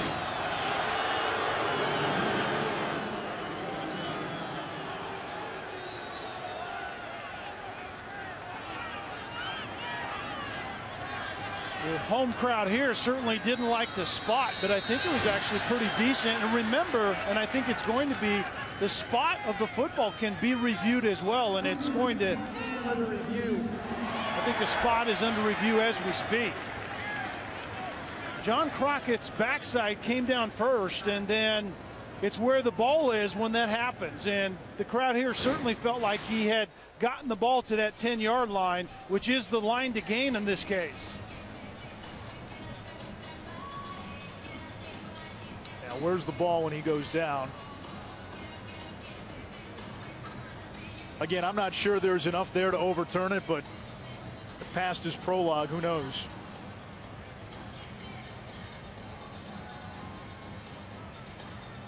Yeah, I think that's actually a pretty decent spot. I think as his backside came down, the ball was about six inches short of that 10 yard line.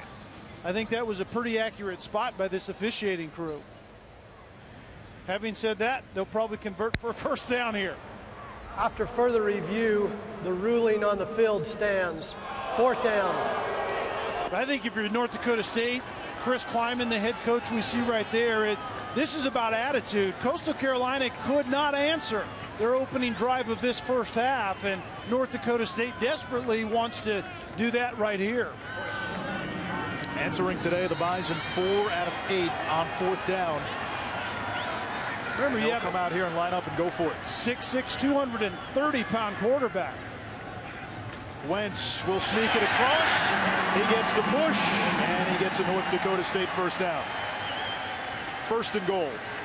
The North Dakota State won this battle on the line of scrimmage. You have a massive quarterback, but you had a really good push from the center, both guard position, kind of the flying wedge up inside, and North Dakota State converts with their bread and butter, which is, I'm going to hit you harder than you can hit me. That unit has come a long way. Only one starter back from last season. Bonnet in motion. Here's Crockett looking for room, ambushed in the backfield, and down he goes, taken down at the 13-yard line. Good pursuit that time by Roderick Holder.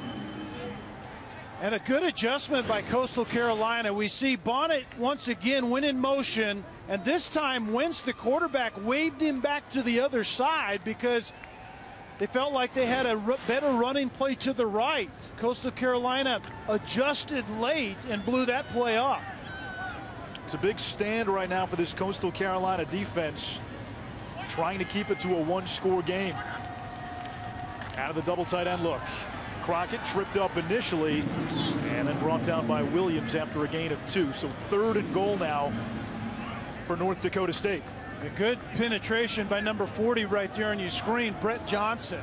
That's what you have to do. You have to create penetration and move the line of scrimmage before Crockett can get rolling downhill. Very difficult to do against the power nature of this run scheme for North Dakota State, where they pull multiple offensive linemen and relocate about 600 pounds to a different place on the line of scrimmage. Frazier in to spell Crockett. On third and goal. Wentz looking, throwing in traffic, incomplete, and now a late flag. Pass was intended for Albers. And let's see what the penalty is. Brent Johnson made a good play on the run play the play before. This time he's going to get pass interference, I believe. Interference, number 40 of the defense. The ball will be placed at the two-yard line automatic first down. The thing is that Brent Johnson really didn't have to do that. He tugged at the jersey late right there. You can see his Albers is coming out of his break. But what Johnson has to realize is he has help over the top. That was not needed. You have to trust the fact that your secondary player is going to be there where he's supposed to to offer help. Morlock the deep back. Play action, naked bootleg, Wentz has an angle, touchdown Bison.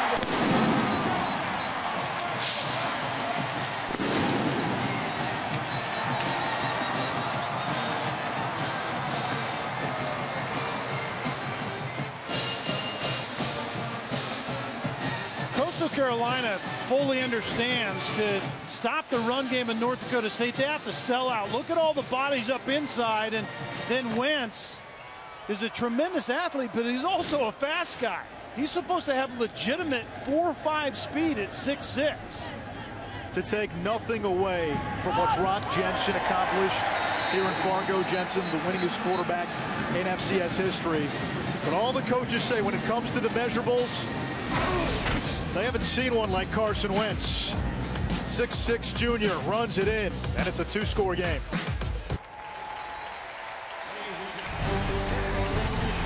College hoops this afternoon on ESPN. Utah and Kansas today at 3:15 Eastern. A matchup of a pair of ranked teams. Get to see Perry Ellis, Wayne Selden, and the Jayhawks.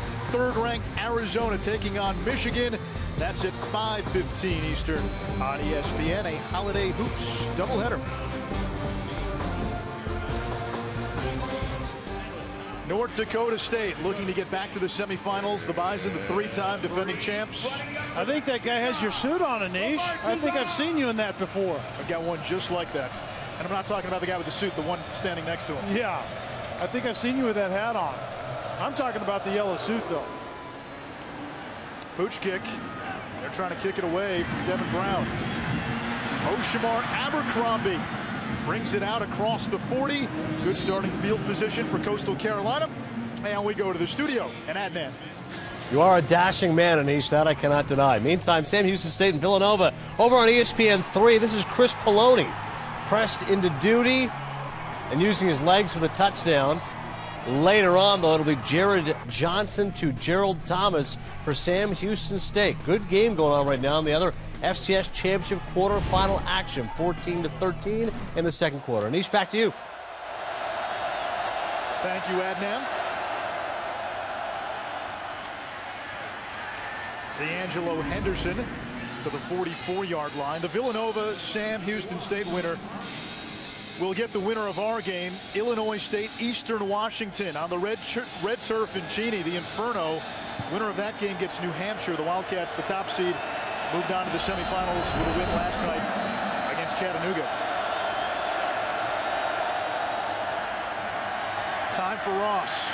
Over the middle, he's got John Israel. He's their big play threat. Israel takes it all the way to the 31-yard line, finally brought down by Christian Dudzik. And this all started with great pass protection.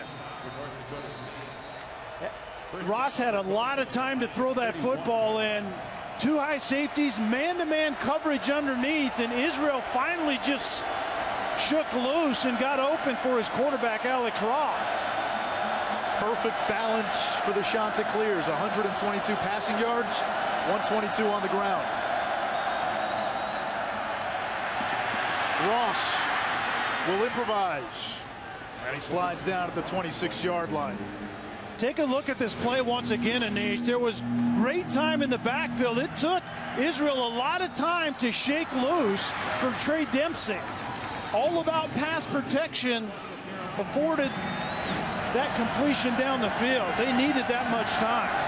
Israel had a 46-yard touchdown catch against North Dakota State in the quarterfinals last year. Here's the fly sweep. Devin Brown tripped up. A gain of two.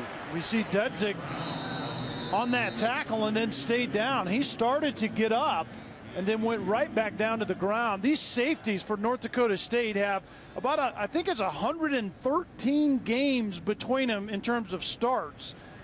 Immense talent, and we saw Dudzik on this play running the alley on that fly sweep, and I think he got a knee right in the lower rib cage, it looked like to me.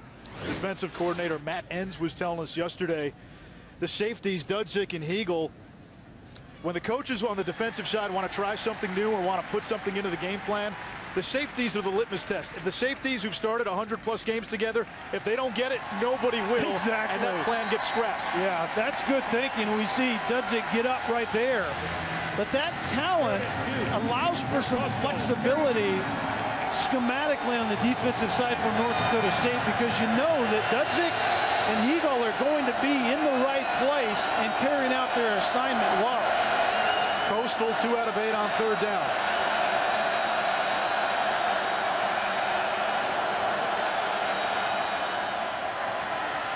Henderson up the middle and east of the 20-yard line. He's got enough for a first down.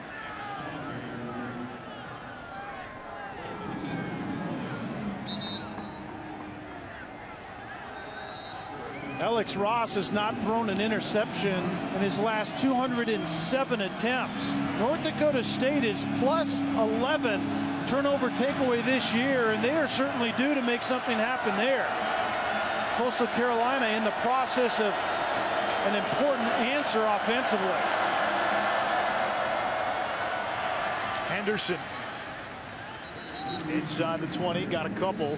Second down. I'll tell you what's been impressive about Henderson.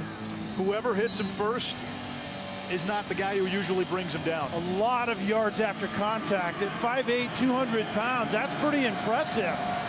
He actually needs to learn to run behind his pads a little bit more. That low center of gravity could work well for him, but sometimes he is loose in ball security because he doesn't protect himself behind his pads. Henderson a couple of yards away from his ninth 100-yard rushing game of the season. Won't happen on this play. That's caught by Bruce Mapp. Tackled about three yards shy of the first down marker, and with that catch, Mapp now sets the single season school record for receptions. Remember, Mapp came into this game slowed because of a ankle injury, and I was watching him in warm-ups, you know. He wasn't moving too well, but he's a gamer. He's showed up here today. Third down, we talk about finishing drives. It's going to get loud.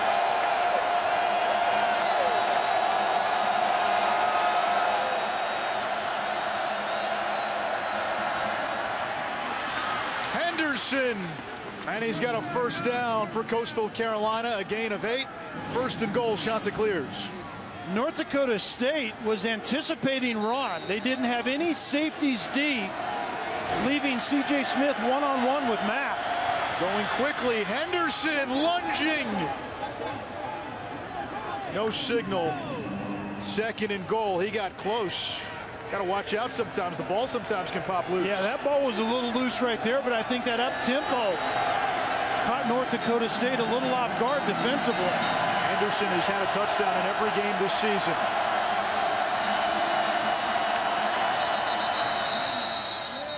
And a whistle before the play.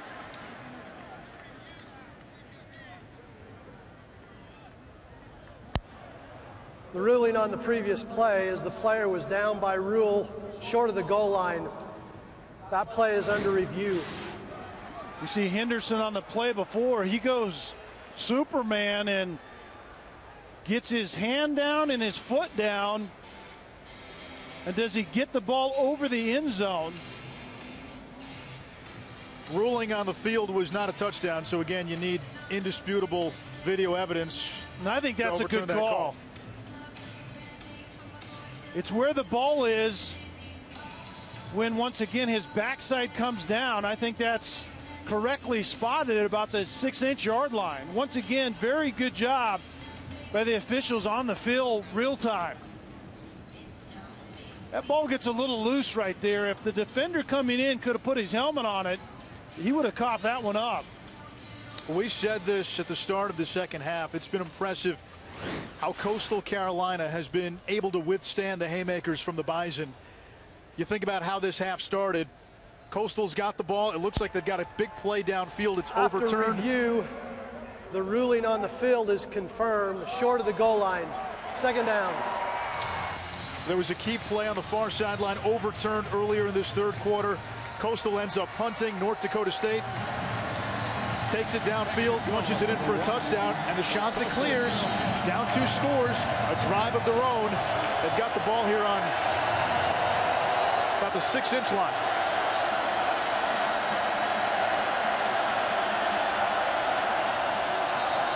Ross, the toss to Henderson, and a flag. Yeah, I think there was movement on the left side of the line of scrimmage. Prior to the snap, false start offense, number 73. Five yards, remain second down. It's the second time Coastal's been this close and there's been a false start.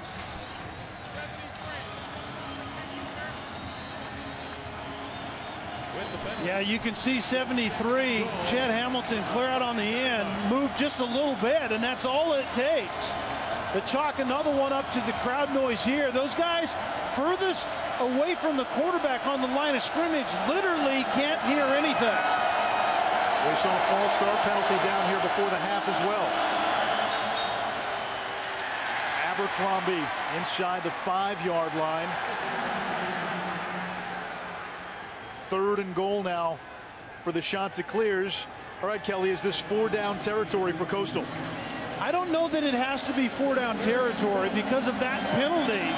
I think you need desperately to get points on the board. Of course, you want to get it into the end zone, but depending on what happens on this play, I think you, if you don't get it into the end zone, you at least need three.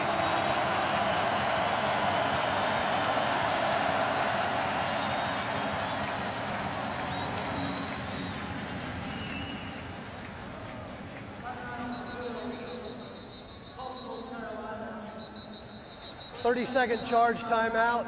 This will now be a media timeout. Correction, 30-second charge timeout. So Joe Moglia wants to go over strategy on third and goal. 3.26 to go in the third quarter. Tonight, find out who will be forever linked to college football's highest individual honor. It's the presentation of the Heisman Trophy brought to you by Nissan.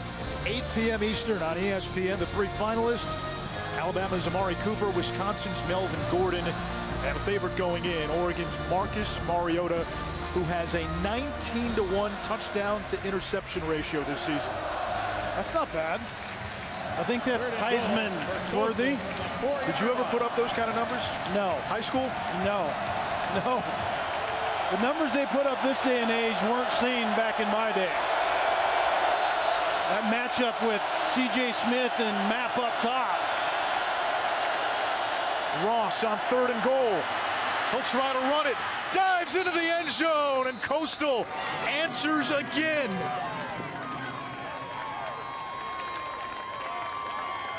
Second touchdown of the game for quarterback Alex Ross. North Dakota State had every answer defensively except for the quarterback.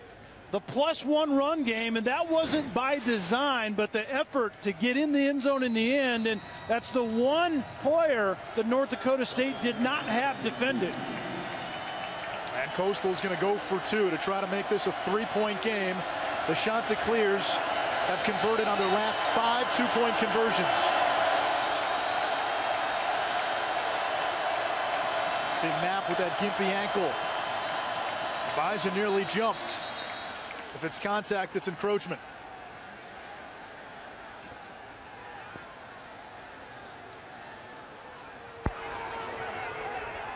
Offside. Defense number five. He was unabated to the quarterback. Half the distance to the goal. One on time down. That's Jordan Champion. Yeah, he actually was real early, but has the opportunity to get back. But when they rule him unabated to the quarterback, then they blow the play dead. Mapp is down right there. We talked about him being slowed by an ankle injury coming into this game. This looks more like a lower back type situation. You saw him going in motion prior to that offsides penalty, and he looked like he was hobbling, but you probably chalk that up to the ankle. Let's take one more look.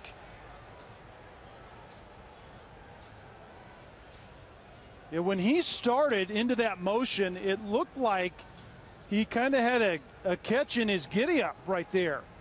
And he's been the go-to receiver. Throwing it up high for Alex Ross has been a comfort zone for the quarterback.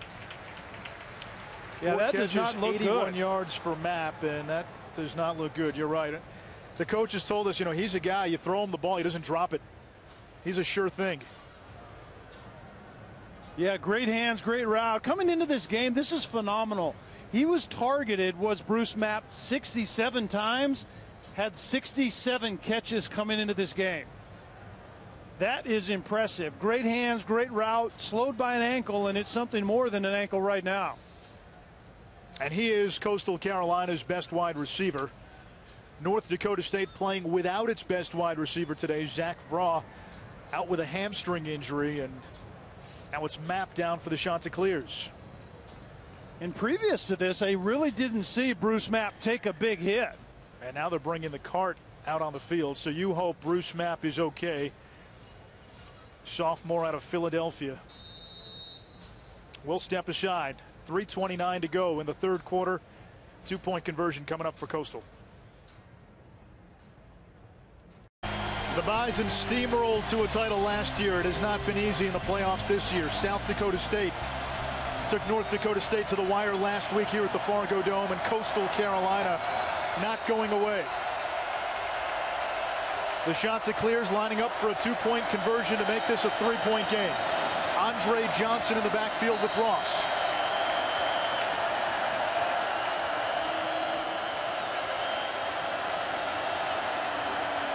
They'll shift the line. Ross in trouble.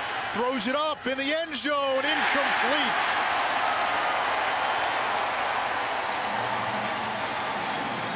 Cody Craig and Craig White, the tight ends, were in the area code. The old swinging gate just trying to get North Dakota State to give up something via alignment, but North Dakota State is impeccably well coached, and that did not work at all. What'd you make of the play call? I didn't like it. I, I didn't mind going for two, obviously, right here. One doesn't do you that much good down by five, but I don't like the choice. There have been so many good things happening, especially with Alex Ross being a viable runner of the football. Well, you also have to remember it was half the distance from the original spot. There was an offsides penalty exactly. against North Dakota State. Coastal has had some success running the football against the Bison front. Yeah, I think you can spread it out in that situation and really give Alex Ross a run pass option to the edge. I don't think you always have to overthink it as a play caller and, and try to just fool somebody. Sometimes just out executing the other team works just fine. This has been one of the best offensive seasons in school history for Coastal Carolina. They rank top 15 nationally in scoring offense and scoring defense. And to put up 26 against this North Dakota State D, that's no small feat. Most points the Bison have given up all season.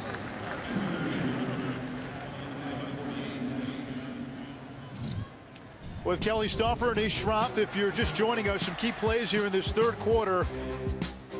Devin Brown makes this catch along the sideline, ruled a catch on the field, later overturned, despite the lack of indisputable video evidence. North Dakota State, after a punt, scores on a Carson Wentz touchdown. Alex Ross, his second rushing touchdown of the game for Coastal Carolina. Two-point conversion, no good, and that's where we stand, 31 to 26.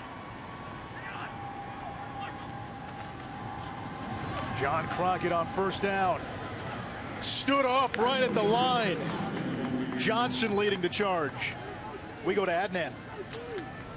All right, Denise, just a friendly reminder some great college basketball coming up. Utah has won six straight. They're facing a Kansas team that has won its last three versus tough teams despite shooting only 38.7% from the field. That's coming up next on ESPN just about 50 minutes from now. Denise, back to you. All right, we look forward to it.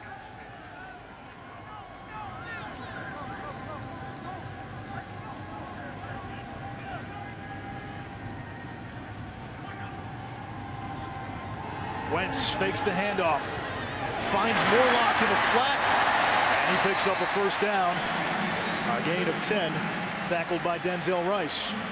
North Dakota State really likes to do this. They'll go trips to one side with the tight end on the close side, in this case into the boundary.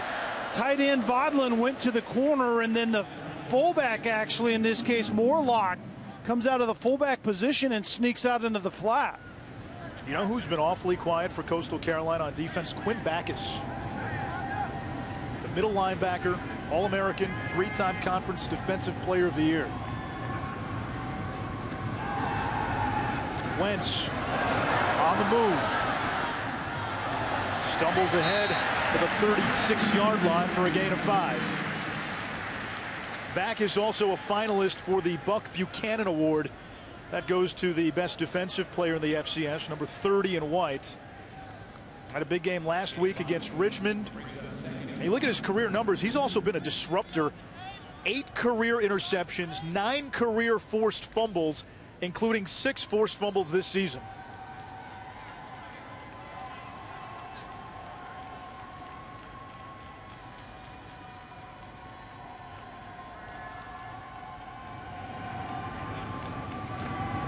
Off play action. Wentz launches one downfield. And he overthrew his intended target, John Crockett. The North Dakota State coaches told us we'd see Crockett on some vertical routes. Without Zach Vraa, they really don't have a vertical threat. Yeah, that was the first time we've actually seen it. Play action pass in the backfield, and then the post route outside. That's a running back in Crockett matched up on Rice. I like that matchup if I'm Coastal Carolina, but that was all about trying to fool somebody up front and then get Crockett in behind him. Big third down. Five to go. Here's the blitz.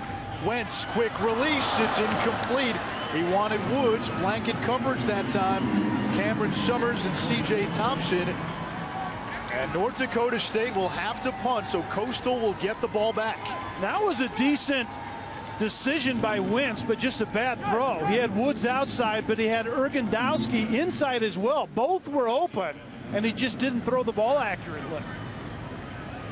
Zach Silverberg waiting, and Ben LeCompte booms this one, and it hits out of bounds.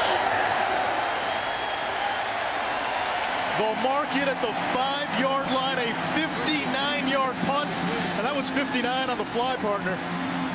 That was a dime on the sidelines, and you saw it explode off of LeCompte's foot. We were told that he was suffering from a quad injury a little bit and didn't know how effective, but not only was that a moonshot, but it was very accurate moonshot at that. LeCompte, a first-team all-conference punter, averaging 45 yards a punt coming into today. That's second in the FCS. It is getting noisy in here as we speak.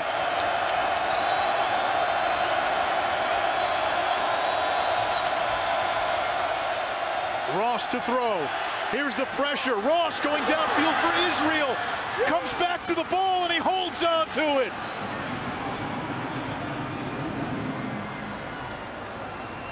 What a gutsy play call. Play action pass, and you get Israel matched up on champion. One on one outside, and Coastal Carolina takes a chance, and they're rewarded for it. A 48 yard gain, and Coastal now in North Dakota State territory. Shovel. It's Henderson. Changes directions. Henderson has room. Bumped out of bounds inside the 20-yard line by Colton Heagle. Another big gain. That one for 32. Well, this is Henderson's strong suit, the lateral movement. There wasn't a lot at the point of attack to the left, and it's the jump outside. Good running backs have the vision to see where the softness is and the quick feet to get there, and Henderson displayed both right there on that play. Another red zone chance for Coastal as we come on the final ticks. How about this answer? Well, they've had an answer all game long.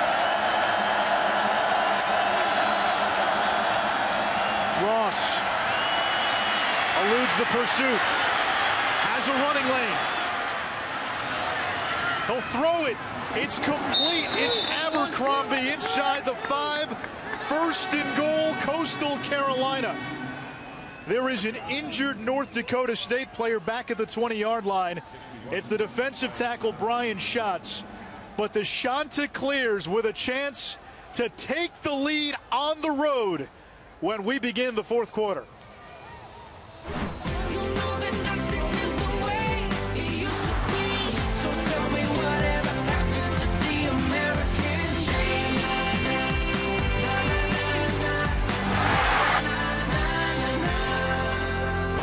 Is a Chanticleer? It is a rooster who rules the barnyard with cunning and wit. There's a story in Chaucer's Canterbury Tales, the Chanticleer and the fox. Well, these Chanticleers, they've done it with a lot of brute force. They've done it with some wit as well today. This drive, though, has summed up Coastal Carolina today. Started at their own five-yard line, three plays, 93 yards later. The Chanticleers inside the North Dakota State five with a chance to take the lead for the first time today. This is Henderson. He's in for a touchdown, and Coastal Carolina has its first lead of the game.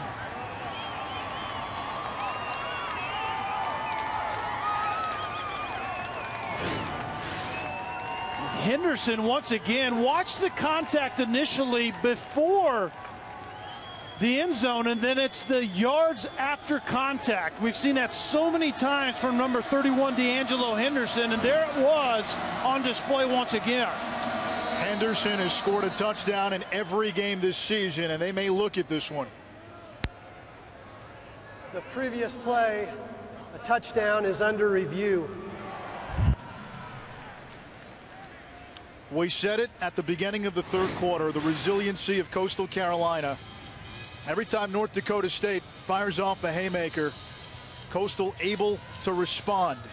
And we can see that Henderson reached for the goal line late. The question is, where is the ball when the knee is down for the first time?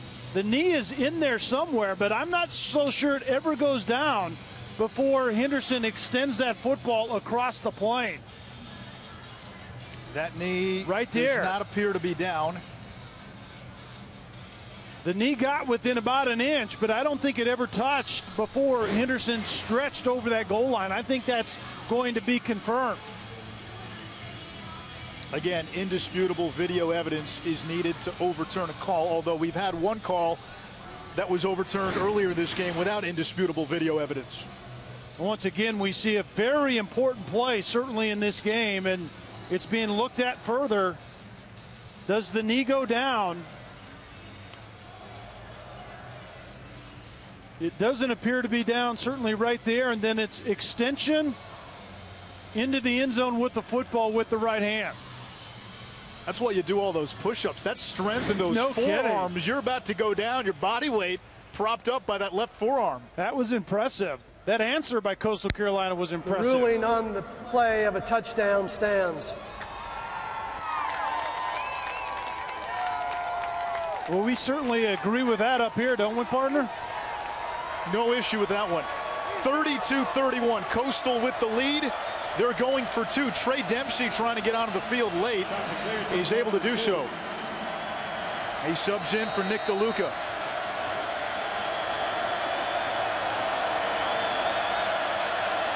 This to make it a three-point game. The tight end Wyke in motion.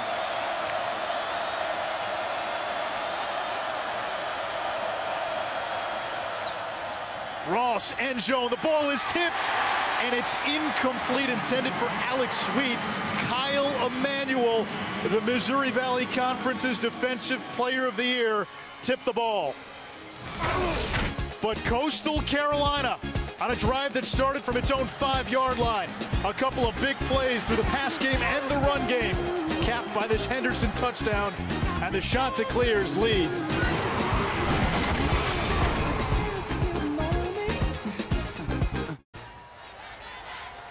This might come down to whoever has the ball last. Coastal Carolina has the three-time defending champions on the rope. Chanticleers up one early fourth quarter. North Dakota State has won 21 in a row here at the Fargo Dome. The last home loss, October 13th, 2012 against Indiana State. The Bison have won 13 straight playoff games, including 12 in a row at home. Coastal this season, 7-0 on the road. The clears leading for the first time this afternoon as North Dakota State will bring the kick to the 25-yard line.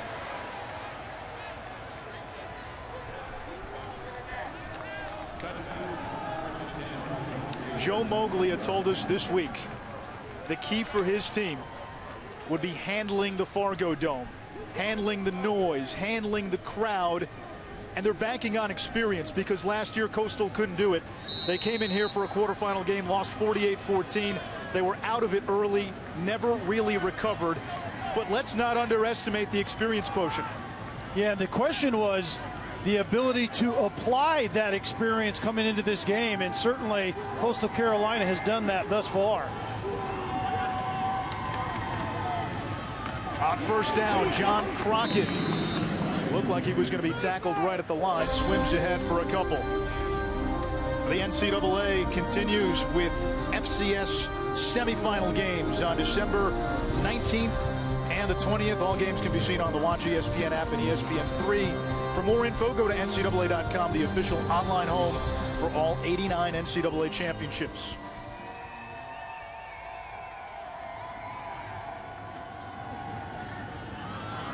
Crockett tripped up in the backfield and then devoured by Pernell Williams for a loss of four. This play was really made by Brett Johnson, number 40, the linebacker. Watch him slice through the middle, gets out to the edge, and then finishes the play, or at least keeps Crockett intact until he can get help. That's something to the edge that Coastal Carolina was not doing well in the first half. North Dakota State in a third and long. Coastal showing blitz. Woods in motion. Chanticleers back off. Wentz in trouble. Takes a big hit. Knocked out at the 31-yard line, short of the first down. So a fourth down coming up for North Dakota State. And Ben LeCompte, the punting team, will come back onto the field. And Wentz is a big dude at quarterback at 6'6", 230, but this is Brett Johnson, the linebacker. And it is a face-to-face -face collision. And I think Wentz got the worst of that, but he did get up. LeCompte's last punt, 59 yards, and went out of bounds at the five-yard line.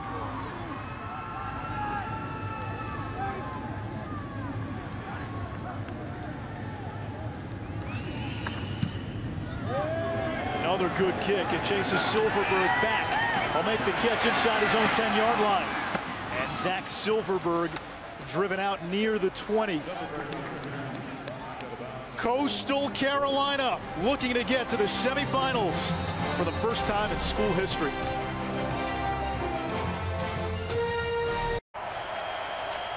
Joe Moglia, a Wall Street mogul, has navigated through Bulls, Bears. Can he get through the Bison? Coastal Carolina started 11 0, lost their regular season finale to Liberty. That cost the Chanticleers a chance at a top four seed. But here they are with the ball in a one point lead in the fourth quarter and a chance to knock off the three time defending champion, North Dakota State Bison.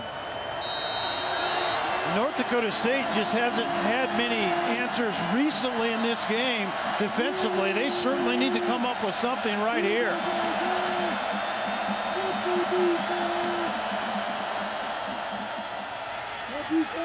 Henderson tackled by a mob of yellow. It's been a balanced offensive effort by the Chants. That's who Coastal Carolina is. They want to be a balanced team. They have been all year. It's not about the way you get there. It's about the production, the result, the yards, and how you score points. And so far, so good for Coastal Carolina.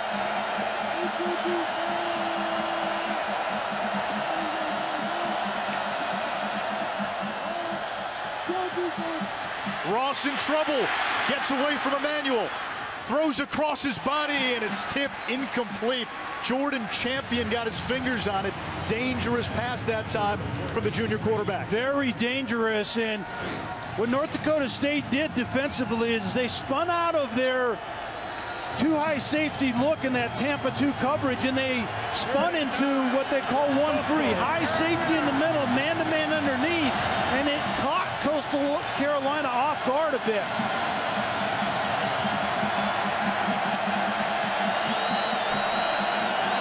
Three down linemen for the Bison here on third down. I think this is all about coverage for North Dakota State defensively. Ross in trouble, ran into his own man, and he's engulfed back at the 11-yard line. Greg Menard and Brad Ambrosius.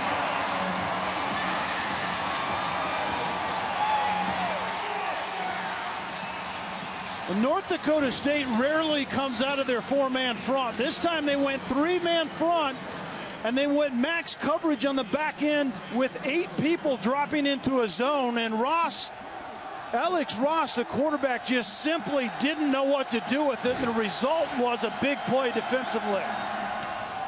Austin Kane, rugby style punt. CJ Smith touched it, recovers it, and he's tackled at the 31 yard line. A 54 yard punt to flip field position. And North Dakota State's backup quarterback Cole Davis wearing Pivothead glasses to give us a point of view perspective on what he was seeing coming out of the tunnel. Great entrance here by the Bison at the Fargo Dome. And now, okay, I think we're getting a little dizzy.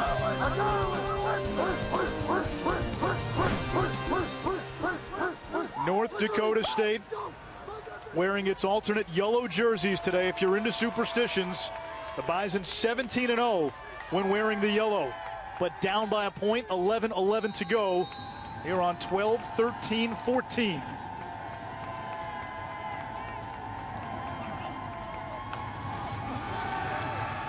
Wentz chased, gets away from Hollenhorst, sets, throws over the middle, receiver open, incomplete, but a flag. Quinn Backus, the All-American linebacker, was on the coverage. And Morlock was actually the receiver coming in to get that football. He was well out of the play. I could see him wide open behind the quarterback Wentz that was rolling. Wentz sees him late. Interference, number 30 of the defense. 15-yard penalty, automatic first down. Good things happen if you throw the ball up like that sometimes. The defender did not look back for the football. That's why he gets called for the pass interference.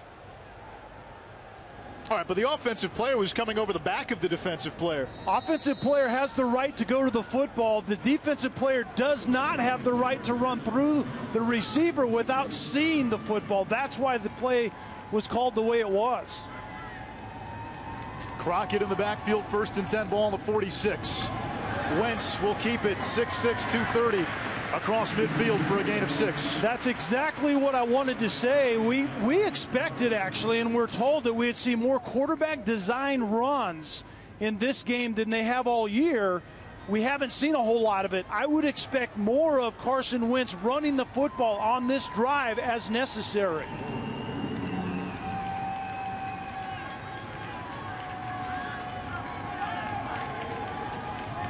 Two tight end look. Crockett looking for some room, breaks the tackle, tries to get the edge, and he's ankle tackled. Amir Sanders held him up. Leroy Cummings finished him off. And a good effort early by Crockett, but a bad decision late. If he just continues to the edge right there, he at least gets enough for the first down and to convert and move the chains. That was a bad decision, not being aware of what your team needs right now, which is simply to convert and possess the football. Crockett needs about 20 more yards to set the school's single season rushing record.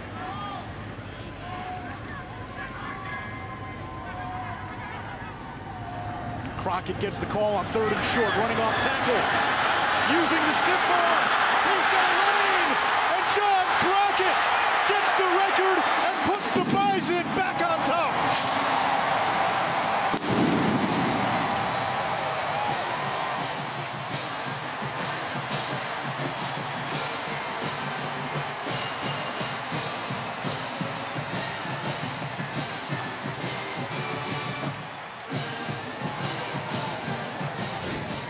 Well, the answer of a champion looks something like this right here, Anish. Once again, Coastal Carolina doesn't defend the edge well, and Crockett makes them pay. North Dakota State will go for two. The Bison try to make this a seven-point game. King Frazier in the backfield.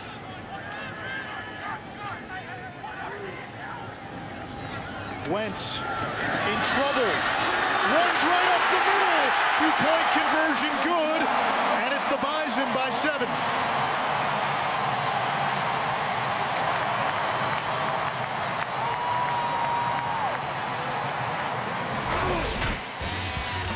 It is so hard for opponents to win in this building. John Crockett, his second long touchdown of the game.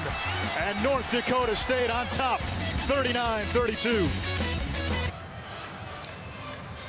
John Crockett has set North Dakota State's single season rushing record, broke Lamar Gordon's mark of 1,723 yards. And today, Crockett and the FCS quarterfinals, a career high 221 yards. He's been the workhorse this season. No Sam Ojuri to split carries with. This is his third straight 1,000-yard season, and he's got two long touchdown runs in this game. The first score of the game and the one to put the Bison on top. This one lands in bounds and then goes out of bounds. That's going to be a penalty on North Dakota State, and Coastal will get it at the 35-yard line. Free kick out of bounds on the kicking team. The ball will be placed at the 35-yard line, first down. Let's go to the studio and Adnan Virk. Anish, thank you. Just a friendly reminder coming up Perry Ellis, a Wooden Award preseason candidate. He and 7 and 1 Kansas facing a Utah team that is attempting to topple a top 10 team for the second time in three games. If the game you're watching goes late, this game will start on ESPN News. More Chaucer references from Anish now. he listens. That's what I like about him.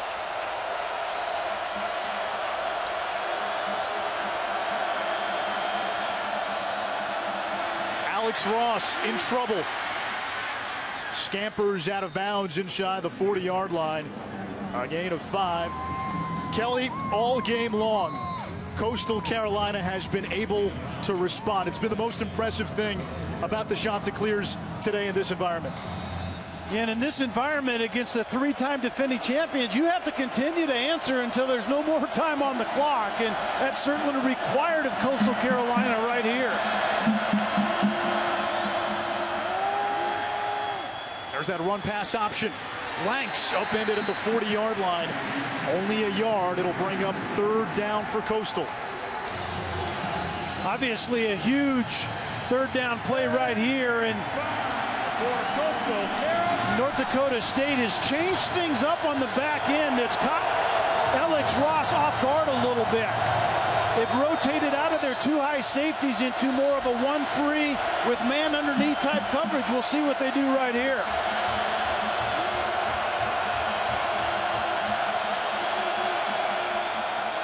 Ross in trouble. Gets rid of it. He's got the tight end Wyke. And Wyke is tackled shy of the 45. It'll bring up fourth down. And let's see if Joe Moglia decides to go for it. Something you have to take into consideration. If you give the ball back to North Dakota State and the Bison go on one of their vintage drives, you may not get the ball back.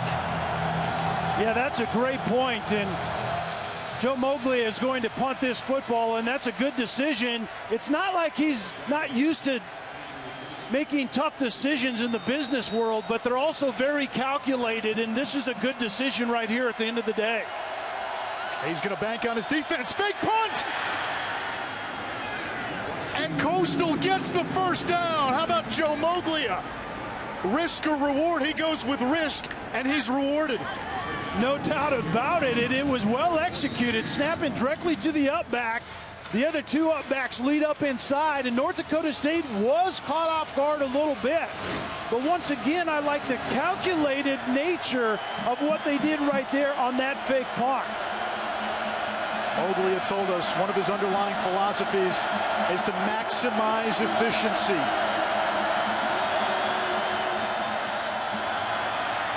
Ross flushed out of the pocket. He's going to run for it.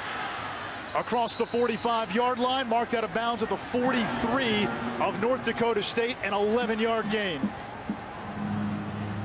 Coastal Carolina, we're being told, trending across the United States on Twitter. The Chanticleers with a chance to take down the three-time defending champion North Dakota State Bison.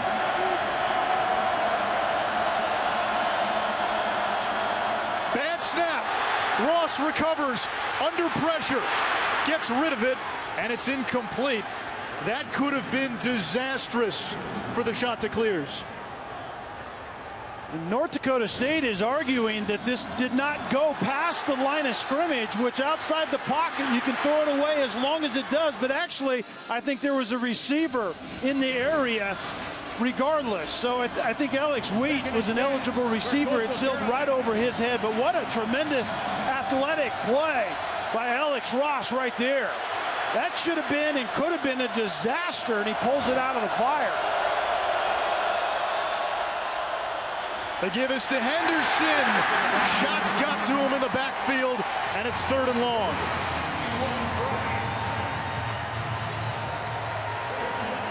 The decibel level is cranking up once again. Coastal Carolina has handled it well as we go third and 12 right here. Last time, North Dakota State rushed three, dropped eight. And Alex Ross, the quarterback, could not solve the equation.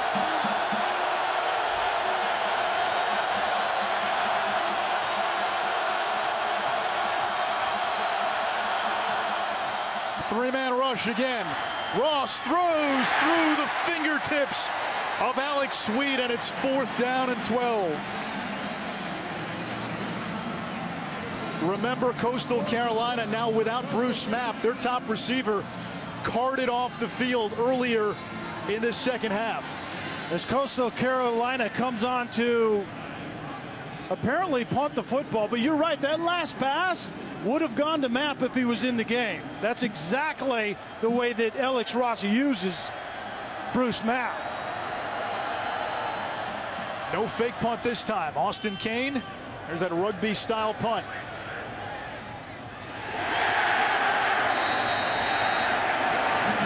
And it's going to be a touchback. The ball crossed the plane of the end zone. If I told you a hurricane was coming? In 2001, the University of Miami unleashed a ferocious storm of talent and swagger upon college football. What if I told you you can't stop a hurricane, but you know it has to end? ESPN Films presents a 30 for 30 film brought to you by Infiniti. It's The U Part 2 tonight at 9 Eastern on ESPN. with Kelly Stouffer and Ish Shroff, FCS quarterfinals. Three-time defending champ North Dakota State up by seven with the football. The Bison trying to get back to the semifinals. They'll play either Villanova or Sam Houston State if they can get there. Coastal trying to get to the semis for the first time in school history. Carson Wentz, quarterback keeper, brought down by Williams after a 15-yard gain. Anish, this game is a game of inches, and Coastal Carolina had an opportunity to make a huge play. This ball could have been down within side or inside the one yard line. Instead, it goes into the end zone. The little things make a difference, and if you have to come into a hostile environment to dethrone the three-time defending champions, you have to make plays like that. And the Bison here, they're going to bleed the clock, take their time. In their perfect world, Coastal doesn't see the football again. Morlock to the 43-yard line for a gain of seven. North Dakota State certainly wants to maintain possession right here, but it's interesting. We've seen Carson Wentz in the quarterback run game here in this fourth quarter. More than we have really all season for them. Design quarterback runs, adding one more run fit to that gap defense for North or Coastal Carolina. And that's been vital for North Dakota State in their one loss to Northern Iowa. Wentz played with an ankle injury, and that loss snapped the Bison's 33 game win streak and FCS record.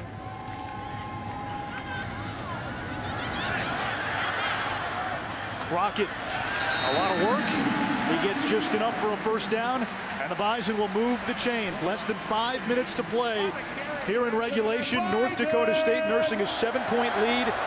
At what point does Joe Moglia have to start thinking about using his timeouts? Probably during this next series, this next change of events, and actually you're going to see the clock stop. Coastal Carolina had a player that went down that already started to the sideline. It's actually Sanders, I believe it's Sanders, the safety. He got up, started to the sidelines, and went down. And the fans here in the Fargo Dome did not appreciate the appearance of a flop. Meanwhile, in a game you can see on ESPN3, Sam Houston State leading Villanova. Villanova, the sixth seed, playing without quarterback John Robertson.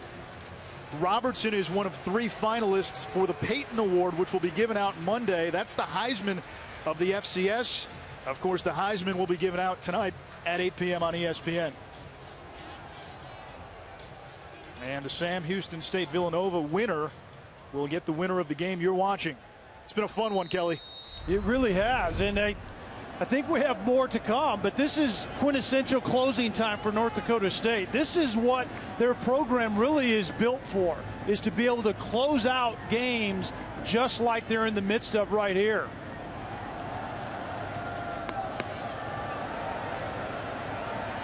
North Dakota State averages better than 40 rushes per game. They're right at 40. 24 of those carries for John Crockett, who has a career high 224 yards. 25 carries for Crockett. And he pushes across midfield to the Coastal Carolina 49. He is a true workhorse in this day and age. 300 plus carries this season, which is a school single season record. North Dakota State runs the ball up the middle, which right in here is kind of the softening mechanism to get out here to the edges. And that's what you see right there. The damage is done on the perimeter, but that brute force is used up the middle to soften that defense and slow him down just one step, and then Crockett gets to the edge. King Frazier spells Crockett on second and five. They give to the fullback, Bonnet. He busts free. Bonnet inside the 35 to the 34-yard line. A gain of 15 and a first down for the Bison. Well, Bonnet from his fullback position has mainly been a battering ram. You can see 46 up inside, and Coastal Carolina defensively was literally running right by the fullback. They didn't know 46 had the ball. Great time to use that play. I think it's the second time we've seen it this evening. They had to have been saving Bonnet coming into the game on the season. one carry for negative four yards. He's carried it twice so far today, on that, including that last one for exact 15. same play. We've seen that play twice now. You're right. Fly sweep. That's the freshman Dowski taken down at the 31, a gain of three. Clock continues to run. Less than 2.30 to play in regulation. Coastal with two timeouts. And Joe Moglia is probably looking for a second down stop here, and then he'll probably use a timeout. Yeah, that's exactly right. I think you'll see the first timeout, or actually it'll be their second timeout being used after this play if North Dakota State does not convert. We saw Coastal go 93 yards on three plays earlier in this half. So they can move the ball quickly. They just have to get the ball back. Wentz will keep it. And he's tackled by Quinn Backus, the All-American. It's a loss of a yard. It's third down. And the Chanticleers stop the clock with a minute 48 to go. If you're just joining us, North Dakota State, the three-time defending champion, led 24-20 at the half. Carson Wentz gave the Bison a two-score lead, but Coastal Carolina all game has been able to respond in hostile conditions. Alex Ross a touchdown run. D'Angelo Henderson a touchdown to give the Chanticleers a lead. And then John Crockett a 48-yard TD. The two-point conversion was good. And that's where we stand right now, 39-32. The Bison trying to get to the semifinals. Coastal has never been to the semifinals. Their season ended in the quarters a year ago in this very building. And Joe Moglia understood that his team had to do so many things right to come in here and win this game, but they really, really felt good about their chances. And one was handling the noise, two was the physical run game that Coastal Carolina has displayed here today has worked well for them also. They've gone toe-to-toe -to -toe with the Bison. On third down, here's Crockett, and he's tackled for a loss. It'll bring up fourth down, and Coastal will have a chance to get the ball back, but North Dakota State now with a decision. Yeah, that will be the interesting thing here, Anish. You're right, because as far as down in distance and place on the field, this would be a it's mammoth a shot goal. for a field goal. They've got a good kicker in Adam Keller. His long is 50. He's made nine straight, including one today. He actually needs one more made field goal to tie the FCS single season record. But again, look where the ball is. Outside this, the 30 yard line. It's a almost a 50 yarder yeah, from here. Probably a 48 yarder. It's in his range, but if you miss, Coastal's got a short field. If you make it, there's a good chance you put the game away.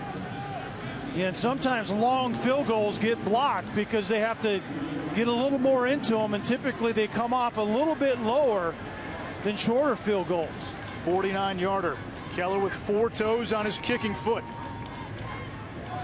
The snap, the hold, the kick is up and it is no good. So Coastal Carolina gets the ball back. A buck 37 to go in regulation. The Chanticleers with a chance.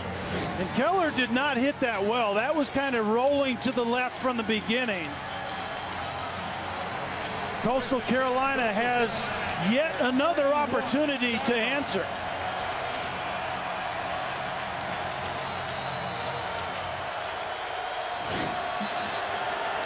Prior to that kick, Keller had been 9 of 11 on field goals of 40 or more yards this season. Kyle Emanuel right here. We haven't heard a lot from. 16 and a half sacks coming into the day. This is showtime for number 53. Coastal Carolina, this is a program-defining drive.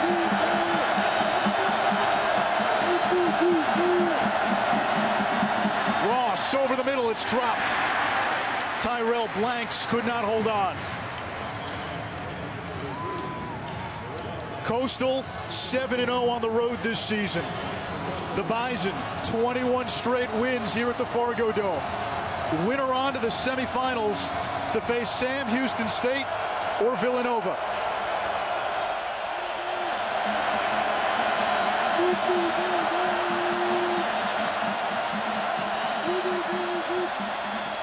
Ross under pressure, and down he goes back inside the 20-yard line.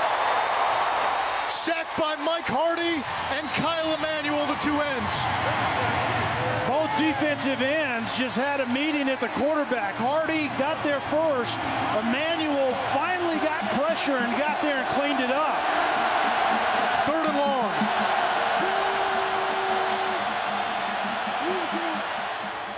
Ross to Henderson. And he's tackled at the 30-yard line for a gain of seven. He got out of bounds. So it stops the clock with 59 seconds to go. Fourth and the season.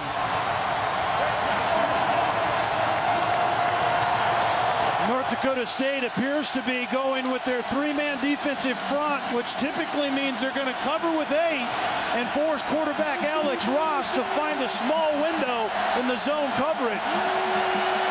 Three for three on fourth down. Ross over the middle, intercepted by Colton Heagle, and the Bison are a couple of kneel downs away from surviving.